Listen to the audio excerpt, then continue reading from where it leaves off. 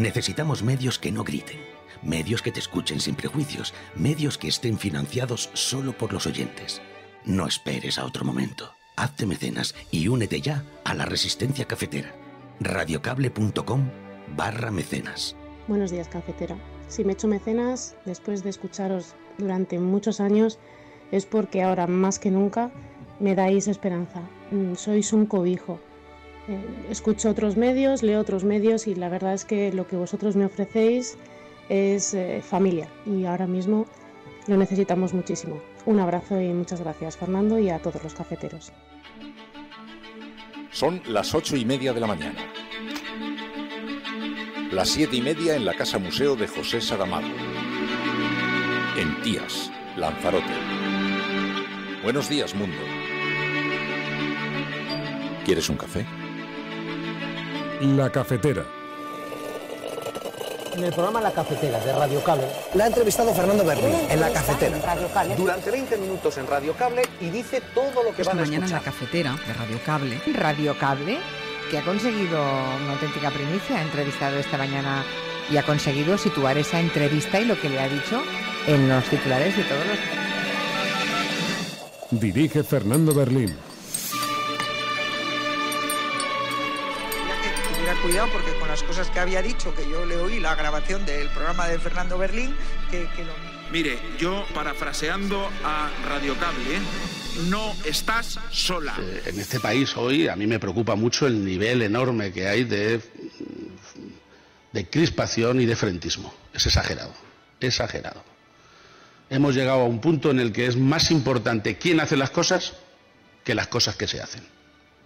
Si las hacen unos están bien y si las hace el otro están mal. Eso de verdad, eso no puede conducir nunca a nada bueno. Pero cuando tú llevas todo esto y te pones a hablar de esto, pues por lo menos el PP, cuando el PSOE se dio cuenta de hasta qué punto estaba creando un monstruo, el PP estuvo de acuerdo, lo podías haber dejado hundirse. Diciendo, ya lo arreglaré yo cuando llegue. Mientras tanto, que escarcelen a 100 más y le levanten la cosa a 2.500. Podías haberlo hecho. No lo has hecho. Y te lo agradezco. Ha sido una gran, gran honradez por mi parte. Y aunque solo fuera por eso, ya te otorgo mi confianza desde ya en que eres capaz de hacer una política feminista eficaz. Porque la has hecho en este caso. Eso era necesario hacerlo y el PP lo ha hecho.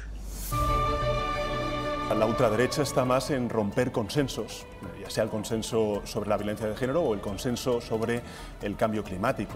Pero mm, más peligroso que Vox defendiendo esta agenda contrarreformista es un Partido Popular que asume en primera persona los postulados de Vox. Un exceso de influencia de esta, de esta gente pues es un riesgo de involución democrática como España no ha conocido desde la muerte de Franco, ni más ni menos. Eh, yo hago una apelación, por un lado al Partido Popular y por otro lado a los empresarios y a las empresarias de este país. Yo se lo estoy transmitiendo y no, no me estoy refiriendo solo a responsables patronales, ¿eh? yo me estoy refiriendo a responsables de grandes empresas de este país. Oiga, ¿van ustedes a mirar para otro lado ante el riesgo de que todas las instituciones sociolaborales de este país, que son tan claves para evitar conflictos, porque un sistema, por ejemplo, de mediación eh, extrajudicial supone evitar huelgas, supone evitar juicios, supone racionar.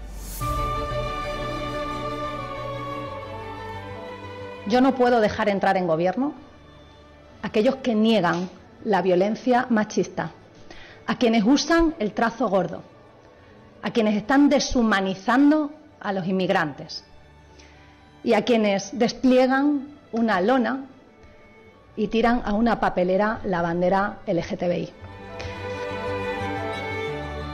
Eh, vamos a lanzar, lo hemos dicho ya, un bono extraordinario que compense la afectación de las subidas hipotecarias en nuestro país. Eh, hemos hecho un cálculo mm, conservador.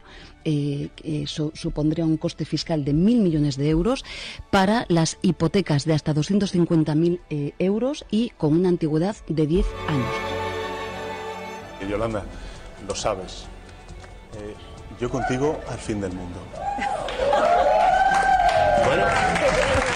Pero qué feitiño eres, qué feitiño eres. Con lo, que hemos, con lo que hemos sufrido durante estos últimos cuatro años. Parece que este Muchísimo. señor es partidario del poliamor. ¿Eh? Bueno, Muchas gracias. señor bueno, te Sánchez- diré que tú y yo tenemos mucho futuro juntos. ya lo veo.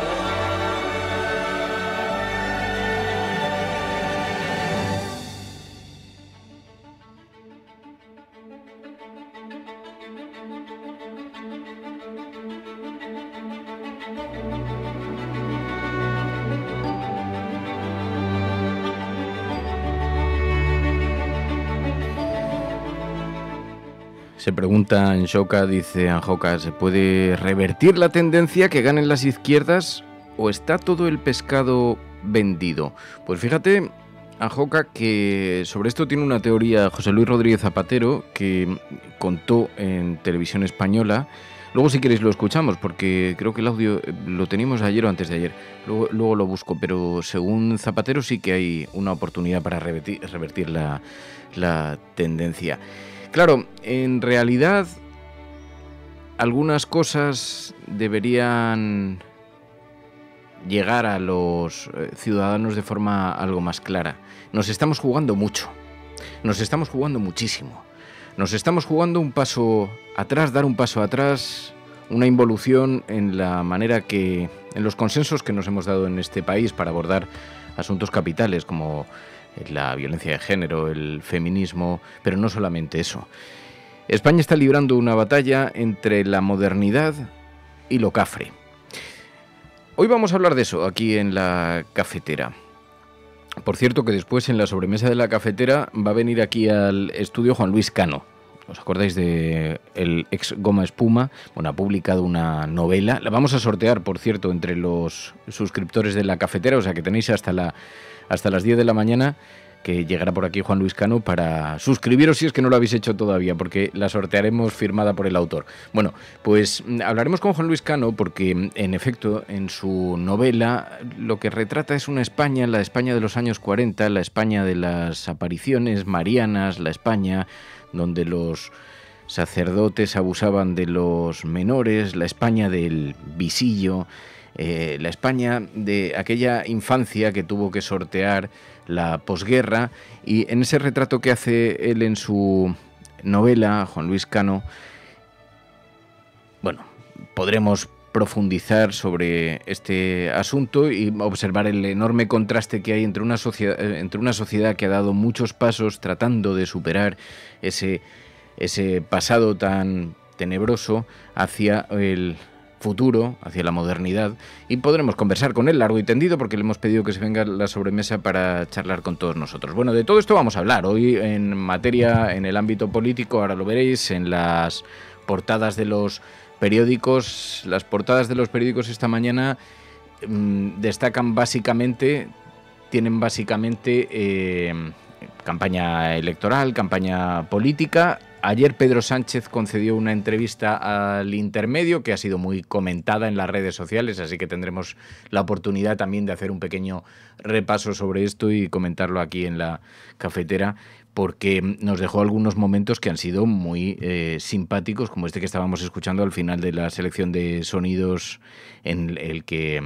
Eh, Pedro Sánchez le hacía un guiño a una actriz que estaba eh, caricaturizada eh, como eh, Yolanda Díaz. Así que, bueno, vamos a hablar de todo esto aquí en la cafetera. Pilar de la Peña, muy buenos días. Hola, buenos días. ¿Qué tal estás? Pues bien, aquí Entonces- ya asistiendo al espectáculo diario casi que estamos, que es de esta pre-campaña y de estas discusiones o de estas dimes y diretes. Joder, ayer tuvimos bien. ayer tuvimos un montón de ahora os lo voy a poner para que lo veáis porque algunos ejemplos ayer tuvimos un montón de recuperamos un montón de voces ayer ayer escuchamos a um, Alfonso Guerra presentaba un libro eh, criticó los pactos con Bildu. Lo que pasa es que lo hizo de una manera enrevesada. Toda la prensa ha interpretado que estaba interpretando los pactos con Bildu, que los estaba criticando. eh, la ruptura de los consensos de la transición y todas estas cosas. Pero ayer escuchamos momentos muy mm, inquietantes. Amelia Valcárcel, la feminista mm, tradicionalmente muy conectada con el Partido Socialista, una histórica del PSOE, decía eh, Europa Press, eh, manifestando su apoyo a Núñez Feijóo y a sus políticas feministas. Amelia Valcárcel estaba siendo muy crítica con el gobierno por, las, por la ley trans y por las políticas feministas. Habían em, escenificado alguna ruptura muy intensa con el Ministerio de Igualdad, pero no imaginábamos verla apoyando a Núñez Fijo. Y ayer también, además de Alfonso Guerra, Amelia Valcárcel con este giro, vimos a Emiliano García Paje hablando de los populismos. Ayer era eh, como ver Walking Dead. Pero esto es otro asunto del que luego, del que luego hablaremos, porque además en el movimiento feminista, que mm, ha sufrido tanta mm, división eh, en torno a la ley trans y en torno a estas cosas, pues eh, estas palabras de Amelia Valcárcel de pronto resonaron muchísimo y se produjo un auténtico terremoto. Bueno, pues de todo esto, si queréis, podemos hablar aquí en la cafetera, porque sí, la campaña electoral ya toma su recta final. Queda un mes para las elecciones. Estamos a 21 de junio y apenas queda un mes para que em, veamos entre esa batalla que se libra entre la modernidad y lo cafre, donde quieren los españoles que se sitúe su país. Esto es La Cafetera, si lo estás escuchando, eres la resistencia y no estás sola.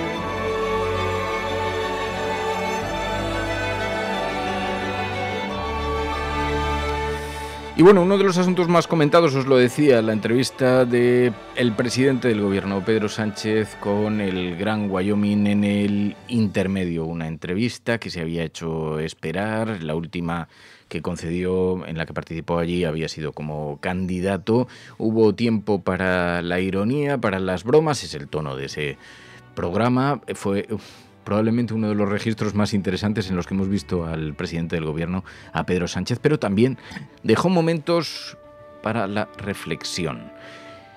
La ultraderecha, la manera en la que está rompiendo los consensos, con algunos ejemplos que citó el propio Pedro Sánchez y que veremos a continuación en los pactos de la ultraderecha con el Partido Popular.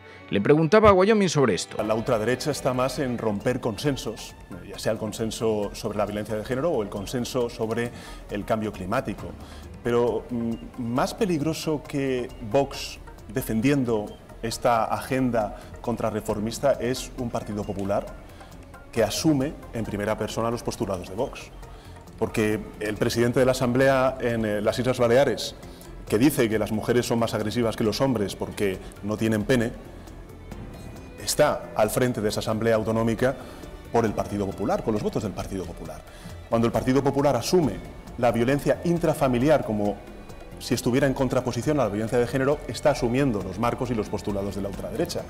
Cuando en muchos ayuntamientos, como hemos visto, se cambia la concejalía de igualdad por la concejalía de familia, como si fueran dos conceptos, dos términos absolutamente contrapuestos, o cuando mm, escuchamos al señor Feijó decir que lo obvio no se tiene que visibilizar, cuando precisamente la gran, eh, digamos, el gran éxito del feminismo y el gran éxito también de la ley eh, contra la violencia de género aprobada eh, bajo la administración socialista de José Luis Rodríguez Zapatero fue visibilizar un drama que por desgracia sufren muchísimas mujeres en nuestro país. Y yo creo que esta es una de las cosas que nos estamos jugando el próximo 23 de julio.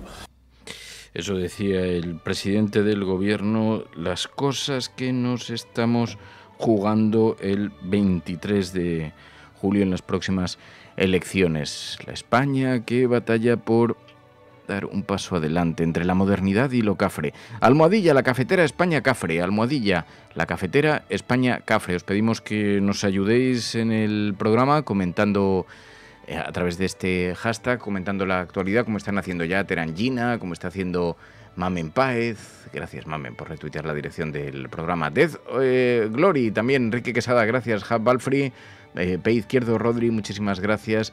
Dice Sideralcat, yo no quiero una España bárbara, cafre, cruel, zafia, rústica. Eh, gracias, Sideralcat. Bueno, también Berca, muchísimas gracias. Carmen Fernández, Gracias, Mujeres en Ciencia, Marelka, Carmen, también Flavia, Remolacha Zombie, Una Yuca, un montón de gente que se está incorporando a esta hora y que nos está ayudando a, redifundir la dirección del programa. Muchísimas gracias por ayudar a que otras personas también puedan encontrar un camino hacia la cafetera. Pues eh, fijaos en esa denuncia que hacía, sí, el presidente del gobierno decía, eh, denunciaba el impacto de las políticas de la extrema derecha y también sobre la agenda del Partido Popular. ¿Sobre todo el Partido Popular? No. En Extremadura el Partido Popular se ha plantado. Se ha plantado ante Vox, después de pactar en toda España.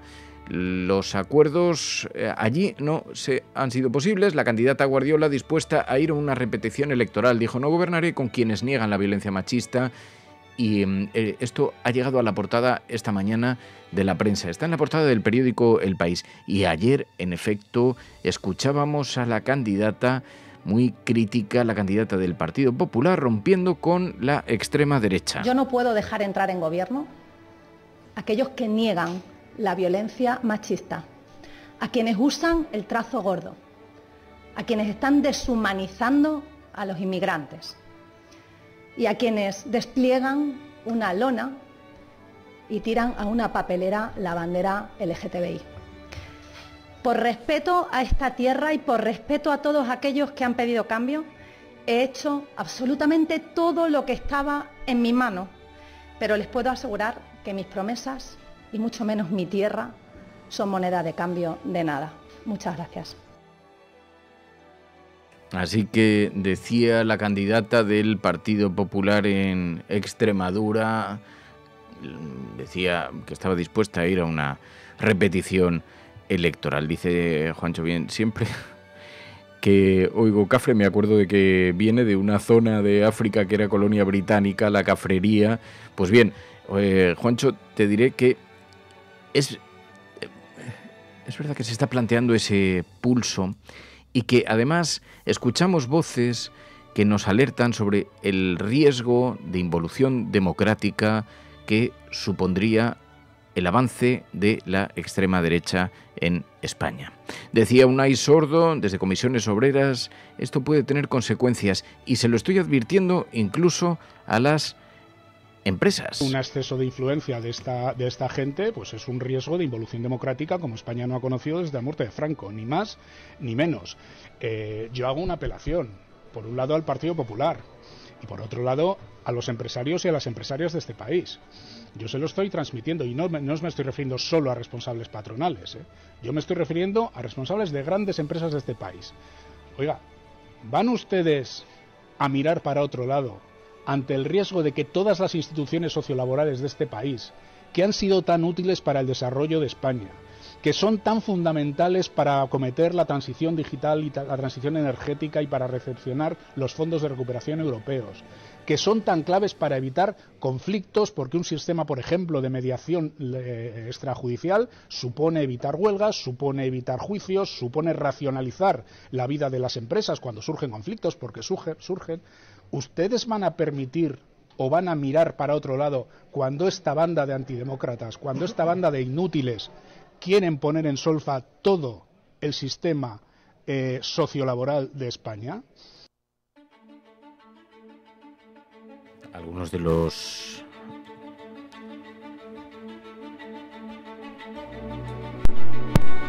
algunos de los acuerdos que estamos conociendo a esta hora, porque los acuerdos de Feijo con la ultraderecha hoy vienen recogidos en la portada del periódico El País. Algunos de los acuerdos realmente es que ponen los pelos de punta. La presidencia del Parlamento Balear será para un negacionista y xenófobo, dice esta mañana el periódico El País en su portada. Son algunos de los acuerdos mm, que, entre otras cosas, señalan el negacionismo, ponen en evidencia el negacionismo. Eh, esta mañana en la portada del periódico La Vanguardia hablan de esto. La violencia de género existe. El año pasado hubo en España 33.200 víctimas de agresiones machistas, cuatro veces más que las que sufrieron violencia doméstica. Pues bien, ayer, sí, hablaba de esto, de los peligros de la extrema derecha, del impacto de la extrema derecha en, el, en la agenda política, en el debate público. Pero Emiliano García Paje le preocupa el grado de frentismo que se vive en la sociedad española. Dice que El populismo en todo caso hay que dejarlo atrás y dice, pero no solamente el populismo de los partidos que lo enarbolan, sino también la manera en la que ha penetrado en otros partidos políticos. Emiliano García Paje. Eh, en este país hoy a mí me preocupa mucho el nivel enorme que hay de, de crispación y de frentismo. Es exagerado, exagerado. Hemos llegado a un punto en el que es más importante quién hace las cosas que las cosas que se hacen. Si las hacen unos están bien y si las hace el otro están mal. Eso de verdad, eso no puede conducir nunca a nada bueno. Y lo verdaderamente importante es saber, entre todos, ojalá y a partir de las elecciones que vienen ahora, podamos recuperar dos cosas que para mí son esenciales. Una, desterrar todo lo que se pueda el populismo. Populismo de todo tipo, ¿eh? El populismo territorial, que es el que empezaron los independentistas en Cataluña, que para explicar el, problema que tenían realmente dijeron España nos roba, ya está bien, ¿eh? Ya está bien. Ese populismo ¿eh? que, ha creado muchos problemas y mucha tensión y ha llevado a mucha gente a las calles. El populismo social y político, que yo creo que está empezando a, ver la puerta de salida, y un populismo que también a veces eh, se ha incorporado incluso a las formaciones políticas. Pues fijaos mm, en los acuerdos que está firmando el Partido Popular con Vox, ya son 135 pactos. Hay mucha opacidad, mucha ideología ultra. Un análisis de las medidas incluidas en los pactos revela hasta qué punto el Partido Popular está asumiendo el sesgo ideológico de la ultraderecha. Esta mañana lo publica la web de la cadena Ser y fijaos, en Islas Baleares, el presidente del Parlamento Balear, aupado por Vox y el Partido Popular, es el autor de esa frase que dice las mujeres son más beligerantes porque carecen de pene. Esa va a ser la persona que presida el Parlamento Balear. En Valencia, en Náquera, Vox y Partido Popular prohíben las banderas LGTBI y las concentraciones contra la violencia machista.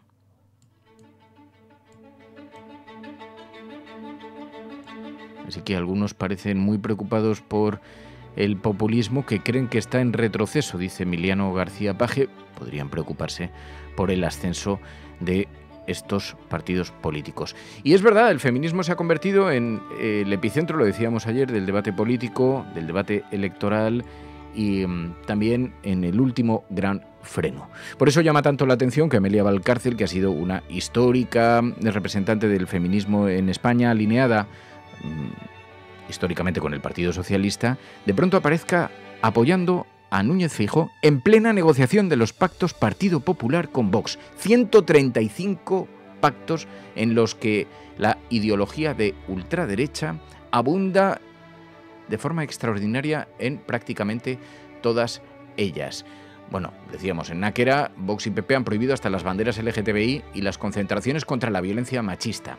El Partido Popular y Vox.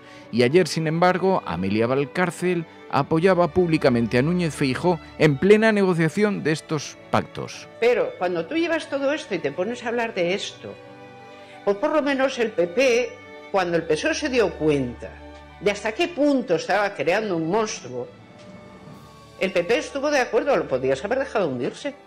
ya lo arreglaré yo cuando llegue. Mientras tanto, que escarcelen a 100 más y le levanten la cosa a 2.500. Podías haberlo hecho. No lo has hecho. Y te lo agradezco. Ha sido una gran, gran honradez por mi parte.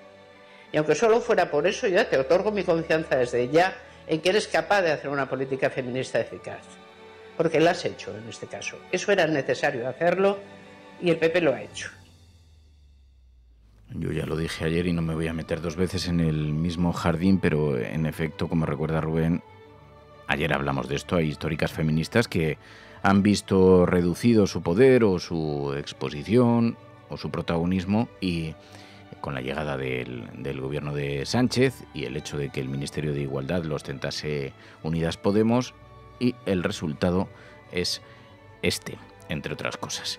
Así que con todo ese lío sobre la mesa, el debate público, os podéis imaginar, ayer en las redes sociales giraba en torno, en torno a esto y mm, era protagonizado por este por este asunto.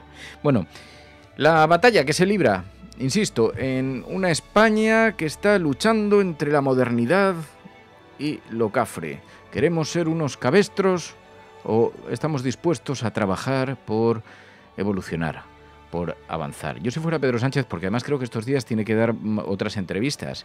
Eh, entre otras cosas, hemos visto, pues como ayer estaba en Wyoming, creo que también eh, acudirá al hormiguero, va a tener eh, bastante protagonismo y se va a sentar con algunas personas que no están precisamente en su línea. Yo, em, em, si fuera él, mi contestación ante este dilema sería siempre ese. Todos estamos haciendo un trabajo por dejar atrás, dejar de comportarnos como cafres y empezar a comportarnos de forma más, un poquito más, mm, en fin, mm, mm, es que no, me quiero, me, me voy a controlar no me voy a meter más en más jardines.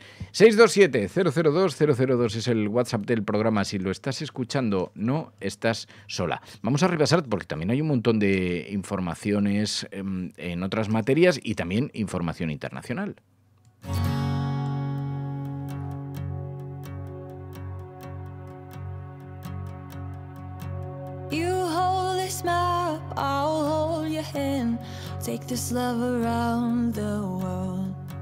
Don't mind those crows buzzing around your head.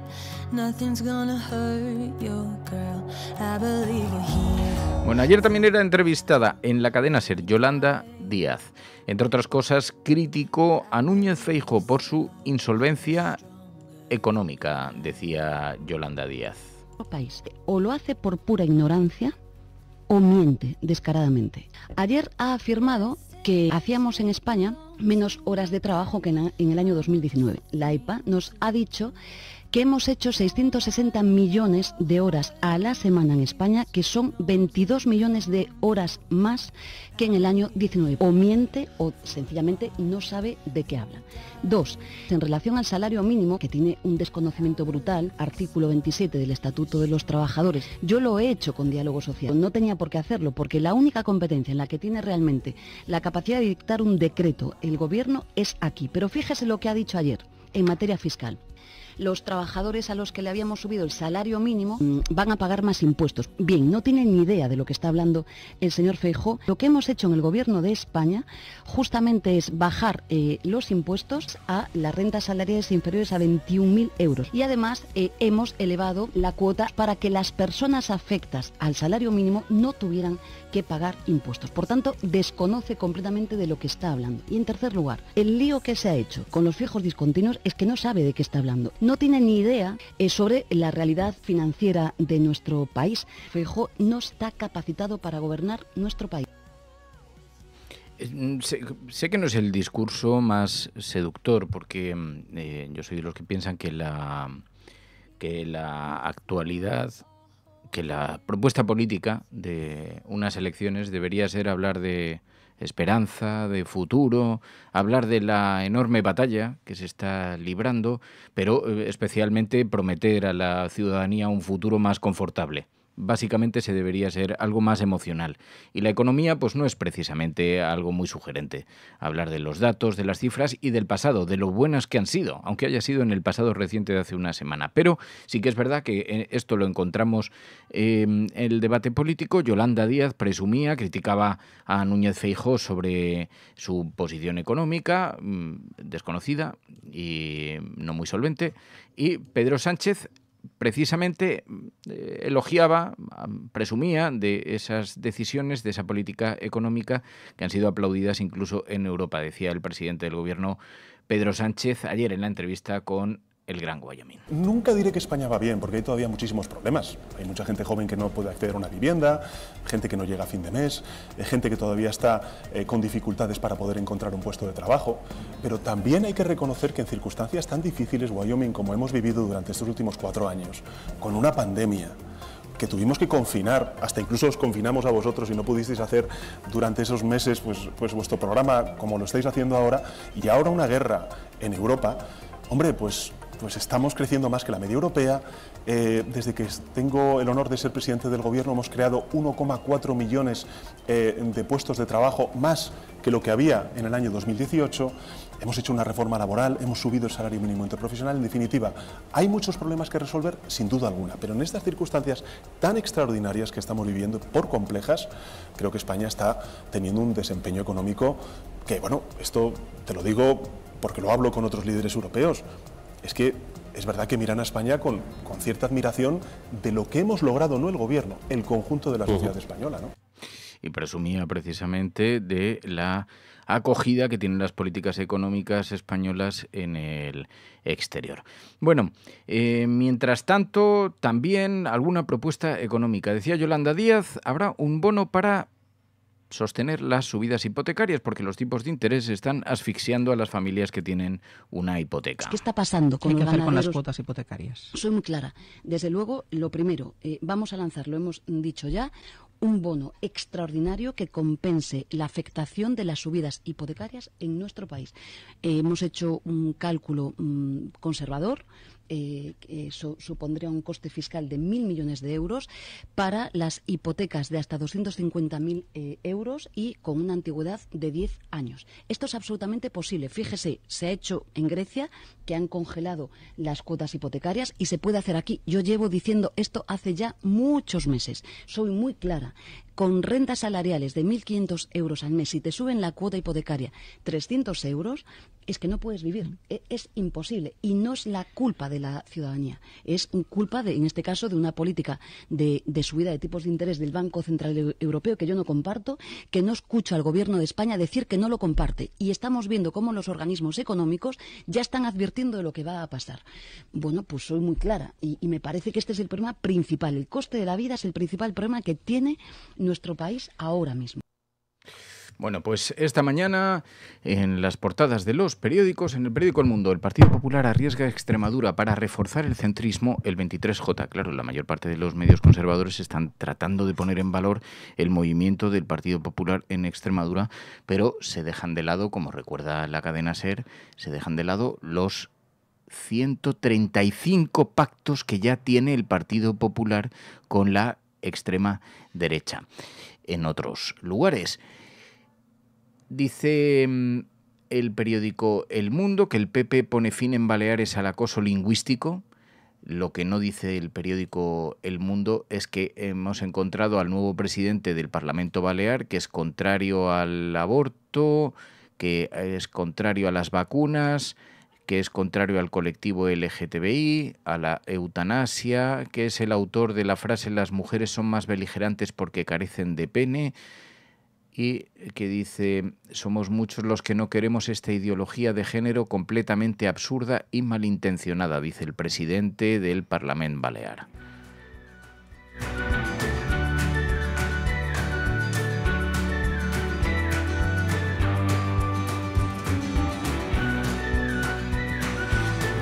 Bueno, ¿hay posibilidades o no de ganar las elecciones frente a la propuesta reaccionaria? Es difícil de decir.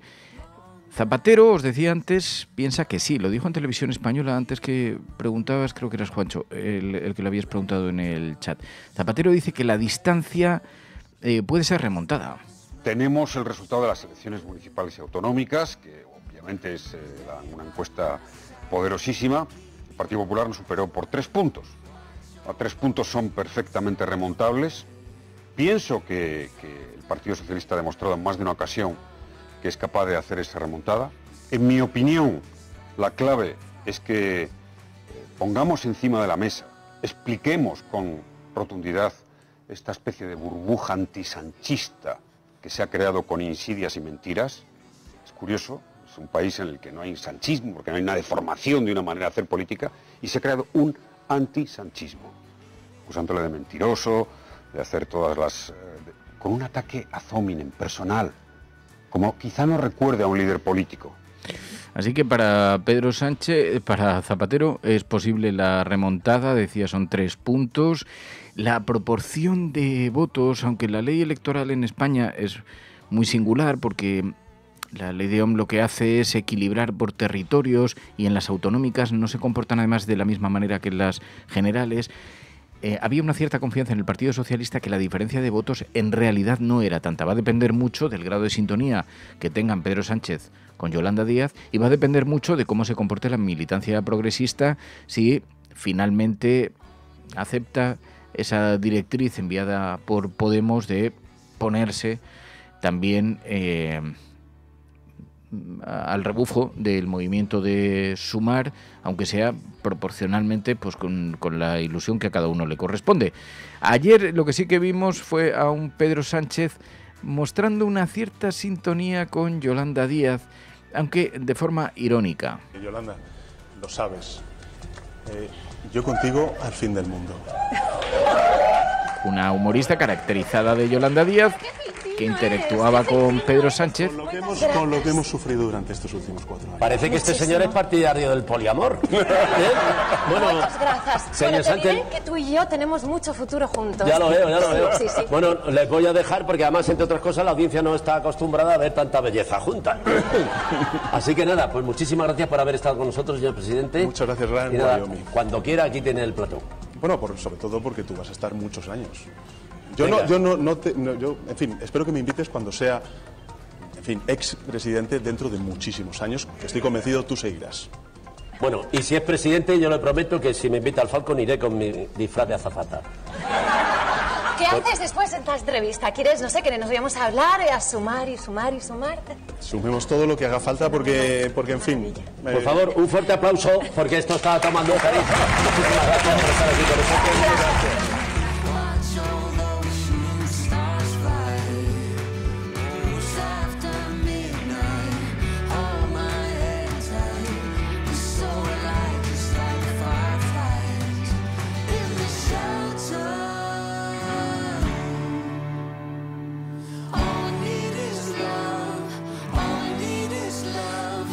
Bueno, pues todo esto protagoniza el debate público y hay, otras noticias que están también en los medios de comunicación, eh, especialmente en los internacionales. Hunter Biden, el hijo de Joe Biden, se ha declarado culpable de tres delitos en un acuerdo con el fiscal y ya se conoce la fecha del juicio a Trump. Vamos a comentarlo enseguida con Pilar de la Peña. Pero esta mañana Hunter Biden, sí, en efecto, en la portada del Washington Post dice, se declara culpable de tres delitos en un acuerdo con el fiscal. Hay un poco de debate sobre si ha recibido un trato preferente. Esto es la cafetera, si lo estás escuchando, no estás sola.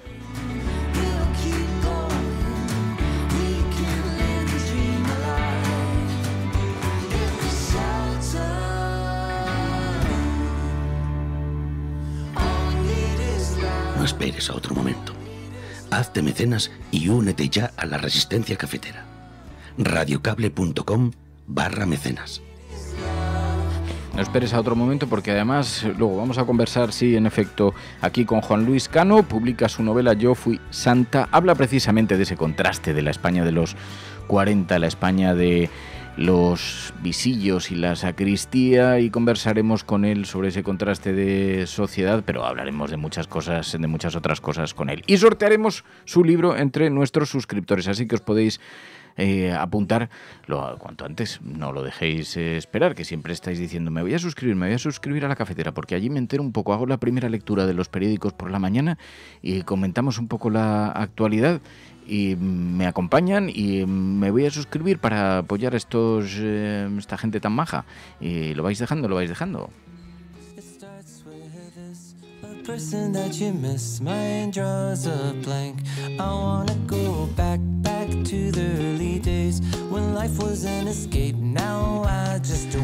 Pero en este repaso, Pilar, que hacemos a la información, la información internacional, sí, Hunter Biden, eh, protagonista en las portadas de la prensa anglosajona, estoy viendo en el Washington Post, porque se declara culpable de tres delitos. ¿Qué consecuencias puede tener eso? Bueno, eh, técnicamente podría llevarle a la cárcel porque uno de los delitos es un delito grave. Ah, Se, declara culpable de tres delitos, dos de ellos son fiscales, pero, pero no tienen casi ni siquiera la, condición de delito, son como faltas graves. Y el tercero es posesión ilegal de, un arma. Pero en este caso, como se trata de una declaración de- del hijo de, de Joe Biden eh, en un pacto con la fiscalía, parece que no le van a procesar por este tercer delito, que es el que realmente podría, podría llevarle a la, a la cárcel. Este, este acuerdo pone fin a, a- una investigación judicial que, que ya se prolonga desde hace cinco años y que realmente mantiene a Hunter Biden, digamos, en el foco y siendo uno de los principales eh, problemas de, de reputación y problemas políticos para, para su padre, para el actual presidente estadounidense Joe Biden. Hay que recordar que Hunter Biden fue también eh, pues, consejero o alto cargo de la- una de las principales empresas gasísticas de Ucrania. Siempre ha estado involucrado o siempre ha, ha- sido este uno de los aspectos que más ha, ha condicionado y que de hecho se siguen investigando sus, los pagos que recibió del extranjero por posible, primero por, por posible tráfico de influencias y por haberse beneficiado de la posición de su padre y luego incluso en el trasfondo de la guerra de Ucrania por si esto también puede haber tenido algún, algún, algún impacto o digamos alguna derivada eh, que, que haya influido en este, en este caso. También eh, Hunter Biden es el hijo de Joe Biden que tenía este portátil que dejó a reparar en un, en un pues en una tienda que nunca lo recogió y que luego fue filtrado a, los medios y en el que bueno pues se, se, había multitud de imágenes y de mensajes pues hasta cierto punto desde luego bastante comprometedores para él y hasta cierto punto también para, para su padre. Este es un acuerdo con el que bueno se la familia Biden espera que se ponga fin a toda la controversia que ha rodeado al, al hijo más problemático de, de Joe Biden, que ha reconocido además que tuvo una espiral de adicción a las drogas y de autodestrucción que le llevó, pues según él, a cometer todos estos delitos que ahora se está rehabilitando. De hecho, parte del acuerdo eh, se basa en que se mantenga alejado de las drogas y que siga una serie de, de cursos y que, y que, en fin, que, que- que siga por el buen camino, entre, entre comillas, pero dado que, que estamos ya en la larga pre-campaña, pues este, este acuerdo ha tenido un enorme, un enorme eco y desde luego desde el, desde el Partido Republicano se considera eh, pues que, ha sido, que es demasiado generoso con el hijo del, del actual presidente y que muestra una especie de, doble, de doble rasero de la, justicia, entre otras cosas porque acaba de conocerse que eh, Donald Trump, el, el expresidente que aspira a la reelección, pues va a tener que enfrentarse a, este juicio por, delitos federales, por este caso de haberse quedado con los documentos clasificados secretos y de haberlos llevado a su, mansión de, de Florida. Ya se ha puesto fecha al juicio, que será el 14 de agosto. Es posible que todavía se retrase, pero de momento esa es la fecha eh, que está fijada para este, para este juicio y los republicanos consideran que, bueno, que, que este es un caso en el que claramente se muestra el doble rasero de la justicia en, Estados Unidos. ¿no? En- bueno, eh, habrá que esperar a ver qué sucede con este, con este juicio. No deja de ser noticia y curioso que Donald Trump en uno de los comentarios que ha hecho sobre este, sobre este caso dice que no devolvió los documentos, que entre otras cosas le juzgan por habérselos llevado, por no devolverlos y por obstrucción a la justicia, pero dice que es que no tuvo tiempo de devolver estos, estos documentos. Y el caso es que sigue, son unos- dos asuntos que están copando la actualidad y la, digamos, la, el debate político ahora mismo en Estados Unidos. Que mm, con la fecha del juicio a Donald Trump también vemos la posibilidad de verle eh, algo más allá del- de, verle sentado en el, en el banquillo. Oye, eh, hay otras noticias que están en las, en, las páginas internacionales también que nos llaman la atención. En Honduras han muerto 41 mujeres en un motín carcelario.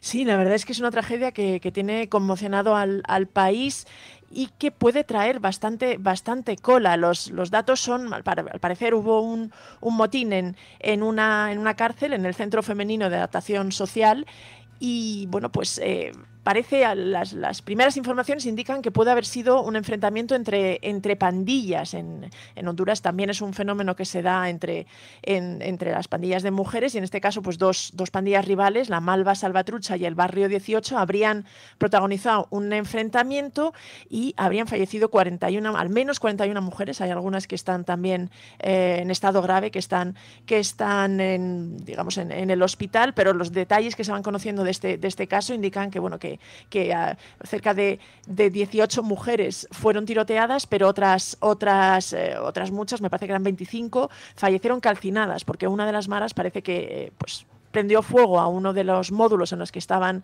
las, las mujeres pertenecientes a esta, a esta banda rival. Varias fallecieron, otras, ya te digo, fueron acribilladas a, a tiros y esto ha puesto de, de relieve el problema de seguridad que también se, se enfrenta Honduras. Eh, Xiomara Castro, la actual presidenta hondureña ha reaccionado prometiendo medidas, medidas drásticas. Lo primero que ha hecho, ha hecho ha sido destituir a su, a su ministro de, de Seguridad y eh, bueno, se abre ahora la posibilidad de que se endurezca la, la, digamos, la, la política de, de- de Honduras hacia las, hacia las pandillas y, de hecho, algunos analistas indican que, que Xiomara Castro, a, a pesar de ser una, una presidenta de, de izquierdas, pues podría emular o seguir algunos pasos digamos, buscar algún tipo de política parecida a la que está llevando a cabo Nayib Bukele en El Salvador para intentar frenar la violencia de las, de las pandillas. Es uno de, ya lo hemos comentado aquí alguna vez en la, en la cafetera, es uno de los grandes dilemas a los que se, se enfrentan muchos países, eh, sobre todo centroamericanos, el- la gran violencia y gran,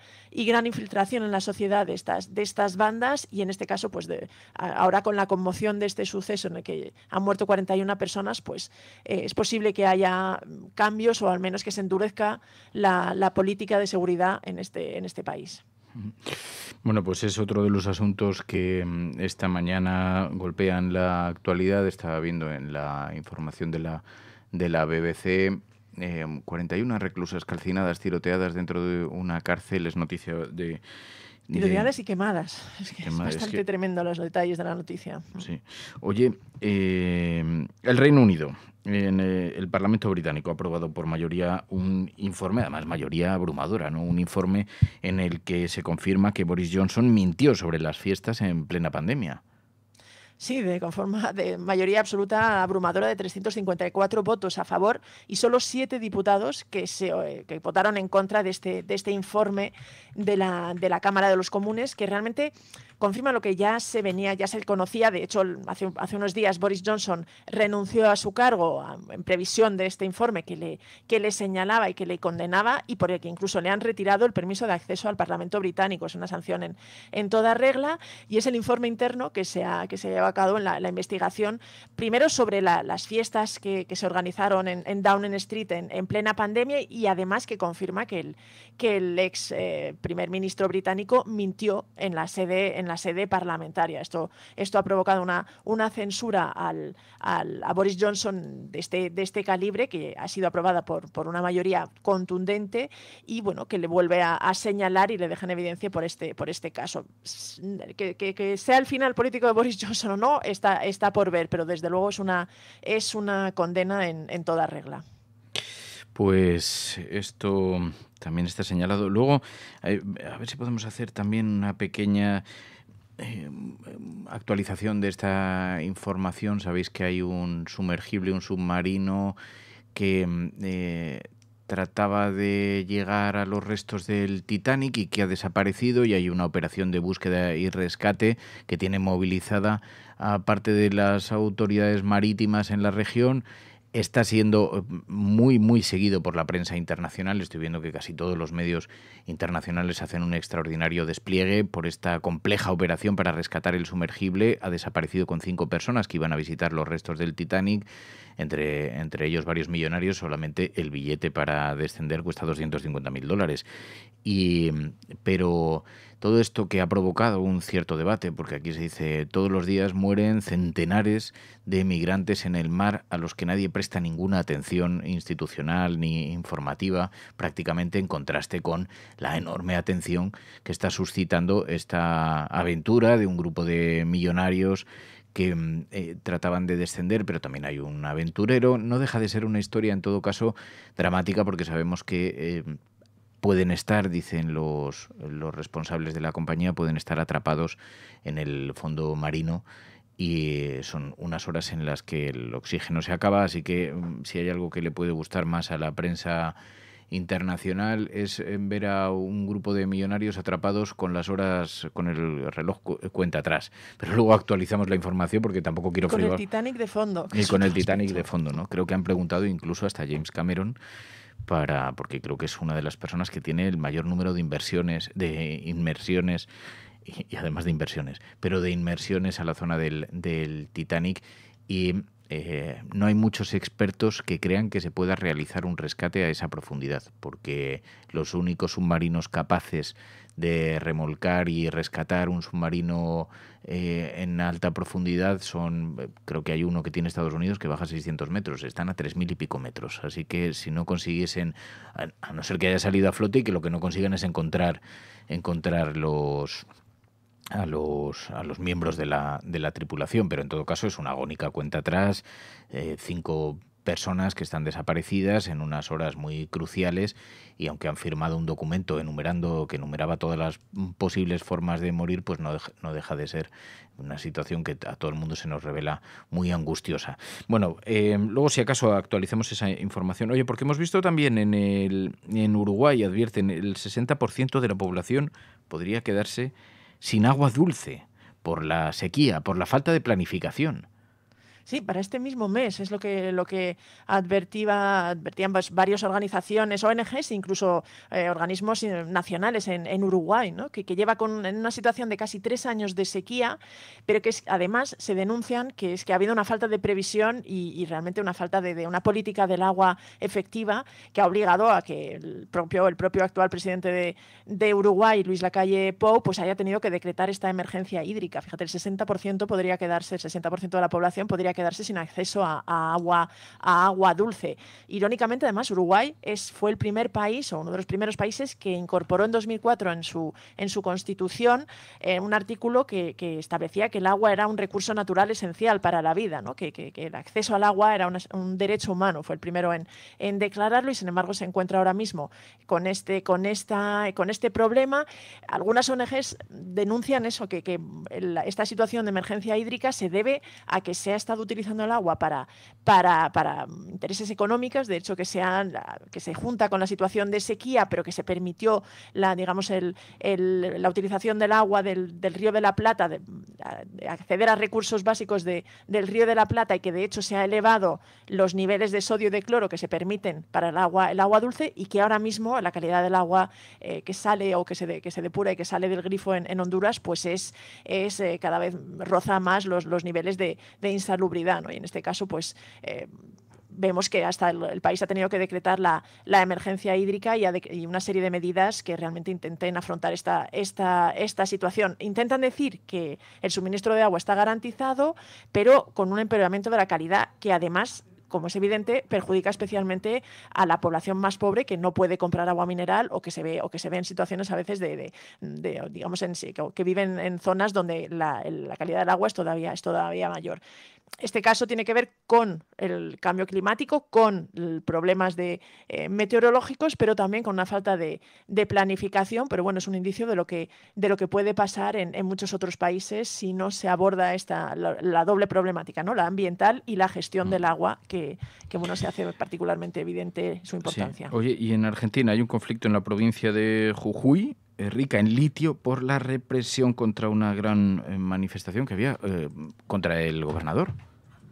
Sí, la verdad es que es un, conflicto que tiene, que tiene muchas, muchas, digamos, lecturas que ha alcanzado, eh, digamos, importancia a nivel, a nivel político, porque, entre otras cosas, eh, Gerardo Morales, que es el actual gobernador de, de Jujuy, es uno de los que se, se, espera que se presente, presente su candidatura a las elecciones presidenciales por, digamos, el partido de la, de la derecha, ¿no? La, la, la coalición conservadora Juntas por el Cambio. Es el gobernador de Jujuy, que es una de las provincias argentinas más ricas en litio y y que realmente pues, eh, es ahora mismo objeto de especial, interés y este gobernador eh, quiere o ha decidido intentar aprobar o está a punto de, aprobar una reforma que realmente, eh, además que contravendría la, propia constitución argentina y que realmente complicaría y dificultaría la, manifestación, prácticamente la, ilegaliza, facilita el desalojo de, de tierras y eh, abre la puerta a que se pueda explotar este, este litio. Ante esto se han movilizado mm, sobre todo pueblos indígenas, pero también eh, profesores, trabajadores, toda clase de movimientos sociales, organizaron una gran manifestación en contra de esta, de esta, la intención de esta reforma y fue violentamente reprimida por la, por la policía. Esto ha provocado una, una gran crisis. El gobernador ha acusado de forma llamativa al presidente Alberto Fernández y a la vicepresidenta por esta, por esta situación. Ya te digo que tiene tintes políticos el caso, pero de momento pues en Jujuy se, se está dando esta, esta, esta, esta convulsión y este, y este conflicto que ha dejado a, a, muchos heridos y realmente unas imágenes de, de violencia y de enfrentamiento eh, contundentes. Oh, my pretty baby. Oh, my baby.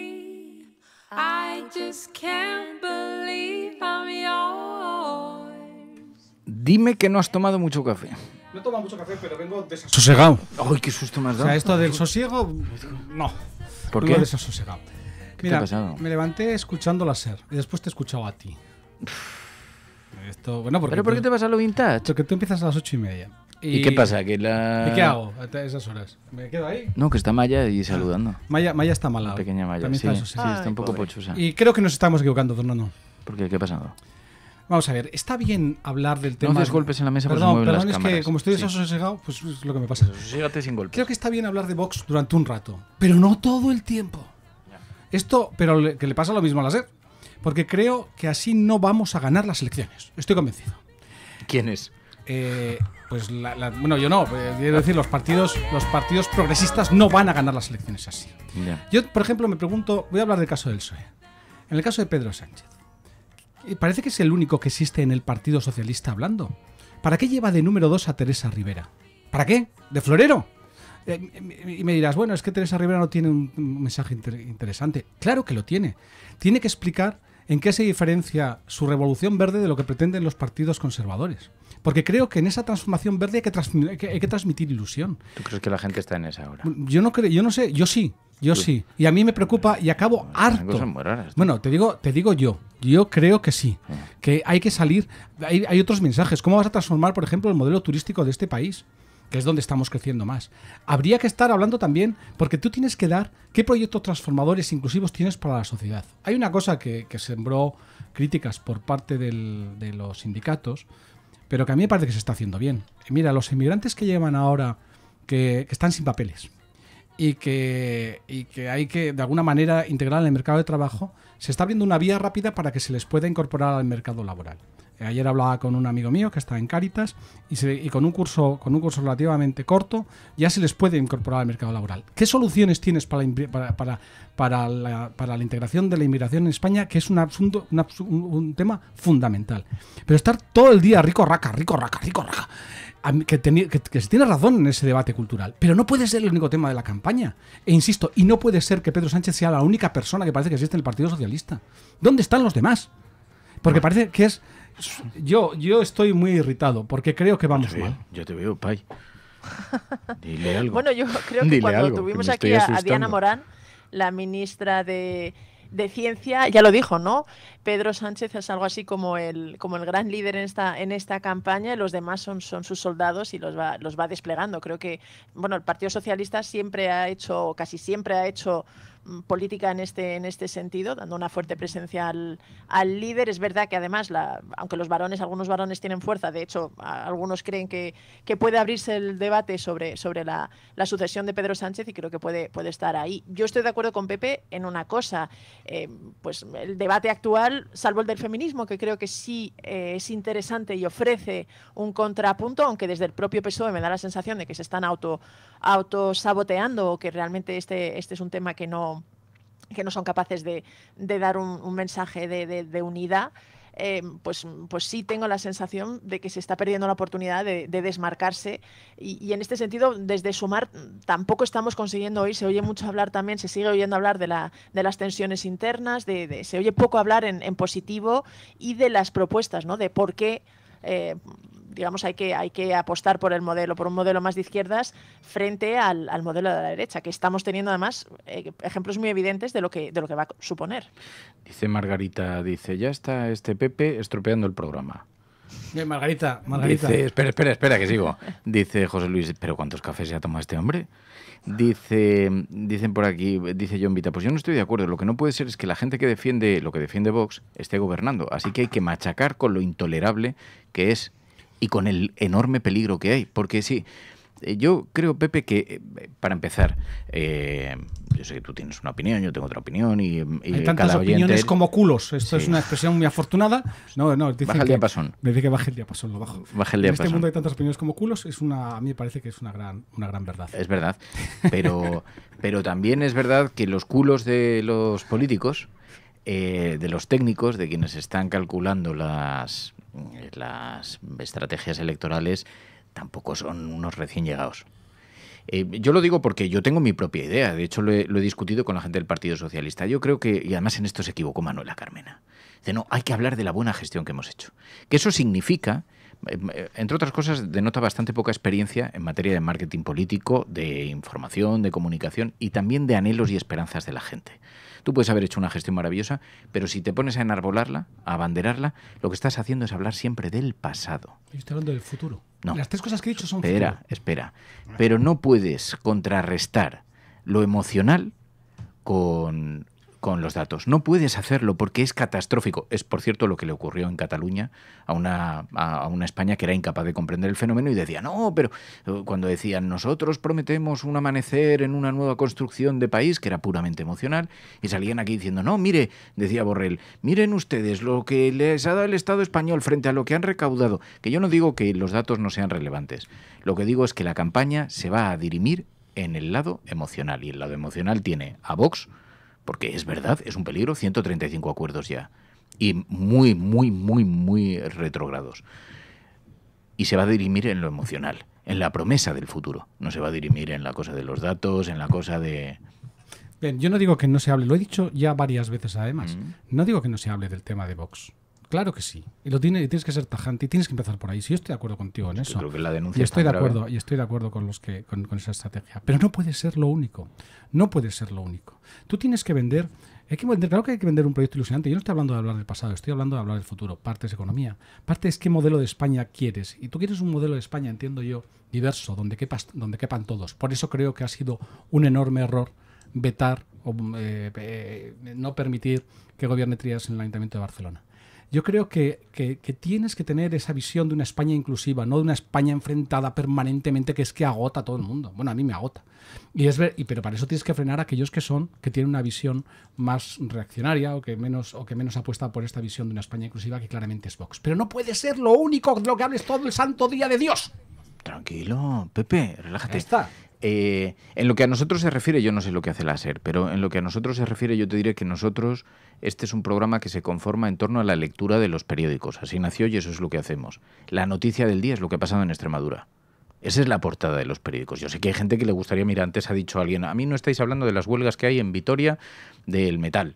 Y, y hay gente que nos está diciendo deberíais estar hablando de lo del submarino. Y aquí cada uno tiene una idea y cada uno haríamos un programa. Pero nosotros hacemos una lectura de la prensa, de las noticias que están colocadas en la agencia, en la agenda mainstream. Y de esas noticias que están colocadas en la agenda mainstream, sacamos una lectura crítica. Eso es lo que nosotros hacemos. Y, y estoy Entonces, de acuerdo, entiendo Fernando. que no siempre va en conexión Es- con lo que cada uno Estoy de acuerdo, querría, Fernando, pero cuando digo estoy desasosegado, no estoy desasosegado porque tú lo hayas tratado así. No, pero como Sino porque refleja, bueno, perdóname, que refleja lo que está, lo que es el 90% de la de los medios. Claro que sí, tienes razón. Pero ¿cómo no vas a hablar hoy? ¿Cómo vas a hablar hoy? Y de verdad te lo digo No, pero es porque que llevamos llevamos días, cuatro, cinco, llevamos que es- es 26 horroroso. años, 27 años haciendo un medio en la red. Llevamos casi 10 haciendo este programa. ¿Cómo vas a ponerte a hablar hoy de la propuesta frente al cambio climático, teniendo sobre la mesa a la ruptura del Partido Popular en Extremadura, que supone algo, no sabemos qué, no sabemos si es escenografía, teatro, yo pienso que es más teatro y que le están dando un espacio relacionado con eso.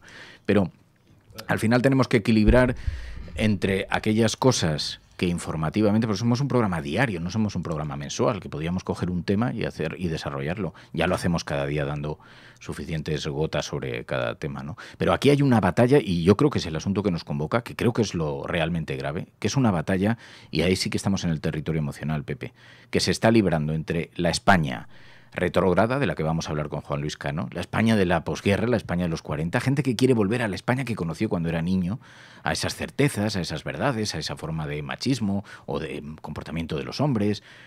La España de ayer frente a la España de futuro, de vanguardia, de la que hablaba Zapatero el otro día en la entrevista. Y creo que en esa batalla que se libra es de lo que hablamos hoy. Y precisamente de eso, por esa misma razón, tienes que hablar de tus proyectos de futuro. Por esa misma razón. Porque eso es lo que te diferencia. ¿Cómo ves la inmigración? Mm. ¿Qué tipo de España plural estás construyendo? Yo es que ¿Cómo no- ves la, sí, la- la- creo que es verdad, verde? pero- es que desde, eso, desde hace días, pero no te lo digo a ti, no, te, no, te- no es de verdad que cuando he hecho esta reflexión no es una entiendo, te reflexión entiendo, sobre te la entiendo, cafetera, te es una entiendo. reflexión Pero general. aprovecho- aprovecho para Esto, eh, colocar Lo que ha el- llevado el debate electoral en las últimas dos o tres semanas, déjame, corrígeme si me equivoco, ha estado centrado en el... Un segundo que es que me están llamando. Y no voy a Tú que tienes cobertura. Por cierto, ¿tú tienes cobertura aquí? Sí, bueno, te voy a entrar una llamada. Pero.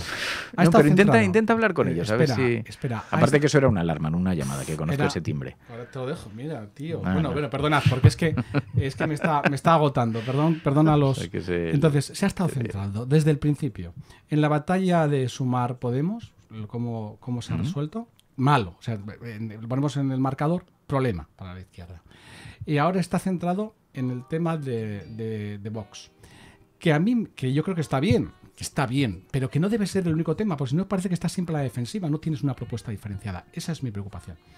Pero... No tienes una propuesta que ofrecer, perdón, no diferenciada. si la En fin, no me quiero enredar con esto, pero... Vale, perdón, eh, no te quería sacar No. de carril, es que me Eh, siento mal. O sea, no, sé pero si ya lo has hecho. Me voy. Pero, pero no te vayas.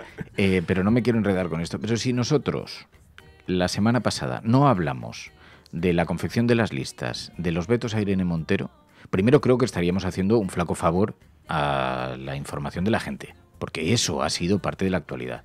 Segundo, habría una buena parte de la audiencia que nos estaría diciendo pretendéis tapar esta operación de lamentable de Yolanda Díaz. Habría una parte de la audiencia que nos lo señalaría habría otra parte de la audiencia que nos diría, encima estáis viviendo en una realidad paralela, porque todas las portadas de los periódicos están en eso. Y creo que al final, a nosotros, oye, que esto nos provoca también muchos debates, tanto internos, tú lo sabes, como también éticos, de, oye, es que la agenda setting está compuesta por un montón de noticias que son accesorias frente a un montón de cuestiones mucho más relevantes, ya. Pero es que lo relevante para unos es una cosa, lo relevante para otros. Y para nosotros el esquema central Bueno. son, la columna vertebral son los medios. Volviendo al análisis político que hace Pedro Sánchez siendo el único portavoz del Partido Socialista. A mí me parece bien. A mí me parece un error. A mí me parece bien, porque creo que es el mejor portavoz del Partido ¿Pero por qué Socialista. te parece un error, Pepe? Que el porque único- si fuera porque- Zapatero ¿por te parecería bien. No, o sea, ¿te no, parece no, a lo mejor un no. error que sea... No, ¿No? no, no, no, no, no, no, no, no, no, no. Me- no, no, no tiene que ver con la persona, no. Sí, yo creo que el, el hombre además lo está haciendo bien. Yo creo que porque, porque creo que hay que vender la idea de equipo, porque ahora mismo la una diferencia también entre, entre el PSOE bueno, y Sumar con la derecha es que la derecha no está, por ejemplo, no está sacando a su equipo económico porque no, o no lo tienen o no quieren sacarlo. Lo- Todo parece que es fijo. Sin embargo, darle imagen de equipo con capacidad para hacer las cosas, a mí me parece que es un activo. Entonces tienes también a María Jesús Montero, que me parece una persona que... Digo, estoy hablando del PSOE, por eso menciono estos nombres. Eh, en otro, a Nadia sí la están utilizando algo, a Nadia Calviño, pero, pero creo que se equivocan. Yo creo que tienen que dar una imagen de equipo frente a, la, frente a esas dudas que hay sobre de qué manera va a constituir su equipo de futuro fijo. Creo que es un activo. No, no tiene nada que ver con, con Pedro Sánchez, ni, ni es ninguna crítica encubierta a Pedro Sánchez. Yo creo que además a Pedro Sánchez no le estamos viendo tanto en realidad. No, Hemos no, ayer le hemos visto en Wyoming O- Onda Cero, eh, Wyoming. y ya está. Eh, Bueno, pero que está ahí. Hombre, esta semana sí podemos decir que ha Dos dado de- unas cuantas entrevistas. Dos entrevistas. Pero tú no lo estás viendo decir- porque no quiere venir a la cafetera. Esto lo Que quiero, no, no, no, lo quiero no. denunciar. eh, lo quiero No, y denunciar además no es verdad, no es verdad. Cállate, que estamos negociando, que estamos negociando. Lo Yo- que pasa- eh, yo hay que pasa- venir en igualdad de condiciones. Yo presiono, pero yo hago la presión. Lo que pasa es que hay que venir con esto. Oye, vamos a hablar de un libro que tú te has leído Sí. Eh, con mucho interés, que tú que o nos repartimos los libros o no podemos hablar de literatura aquí en la cafetera. Entonces Pepe Romero ha sido el responsable encargado de la lectura de esta novela que vamos a comentar. Vamos a hablar de muchas otras cosas también con Juan Luis Cano porque toda su propia historia, la fundación, em, la propia historia, en la Fundación Goma Espuma, eh, su propia historia como, no sé si humorista, periodista dentro del programa Goma Espuma, que fue un auténtico Boom. boom en la radio, a todos los que somos de aquella generación, pero además creo que su familia tenía una empresa funeraria, entonces tiene un discurso sobre esto también muy divertido, su propia historia personal es muy simpática y creo canta mm, canta de puta madre eh, música andaluza. Entonces, Y- como- y le gustan los toros. Flamenco, flamenco. Sí, es un tipo con Sí, muchos gusta- sí, lo de los toros ya no me gusta Hombre, tanto. pero, Pero, pero, ¿de qué- de pero, son, Bueno, yo- luego, yo- se lo vamos a, luego se lo vamos a plantear. Pero a ver si le conseguimos arrancar para que cante. me- me le voy- ¿Contigo yo le voy a piano? sacar la guitarra. ¿Contigo al piano? Conmigo al piano no, yo no sé tocar flamenco. Bueno, eso que tocas tú. Que hay, hay una cosa que pasa con la entrevista de hoy. Que cante flamenco el Que- payo. Que, que- que es un monstruo de la comunicación. Entonces yo, entre Fernando y él, que estoy- me han invitado aquí al estudio, me siento un poco humillado. Lo único que ayuda en el caso de Fernando y en el caso de Juan Luis Cano es que por lo que he leído, yo no le conozco personalmente, es buena persona. Entonces, sí. entonces como es buena persona, sabrá perdonar pues, pues- pues la gente que no estamos a su nivel.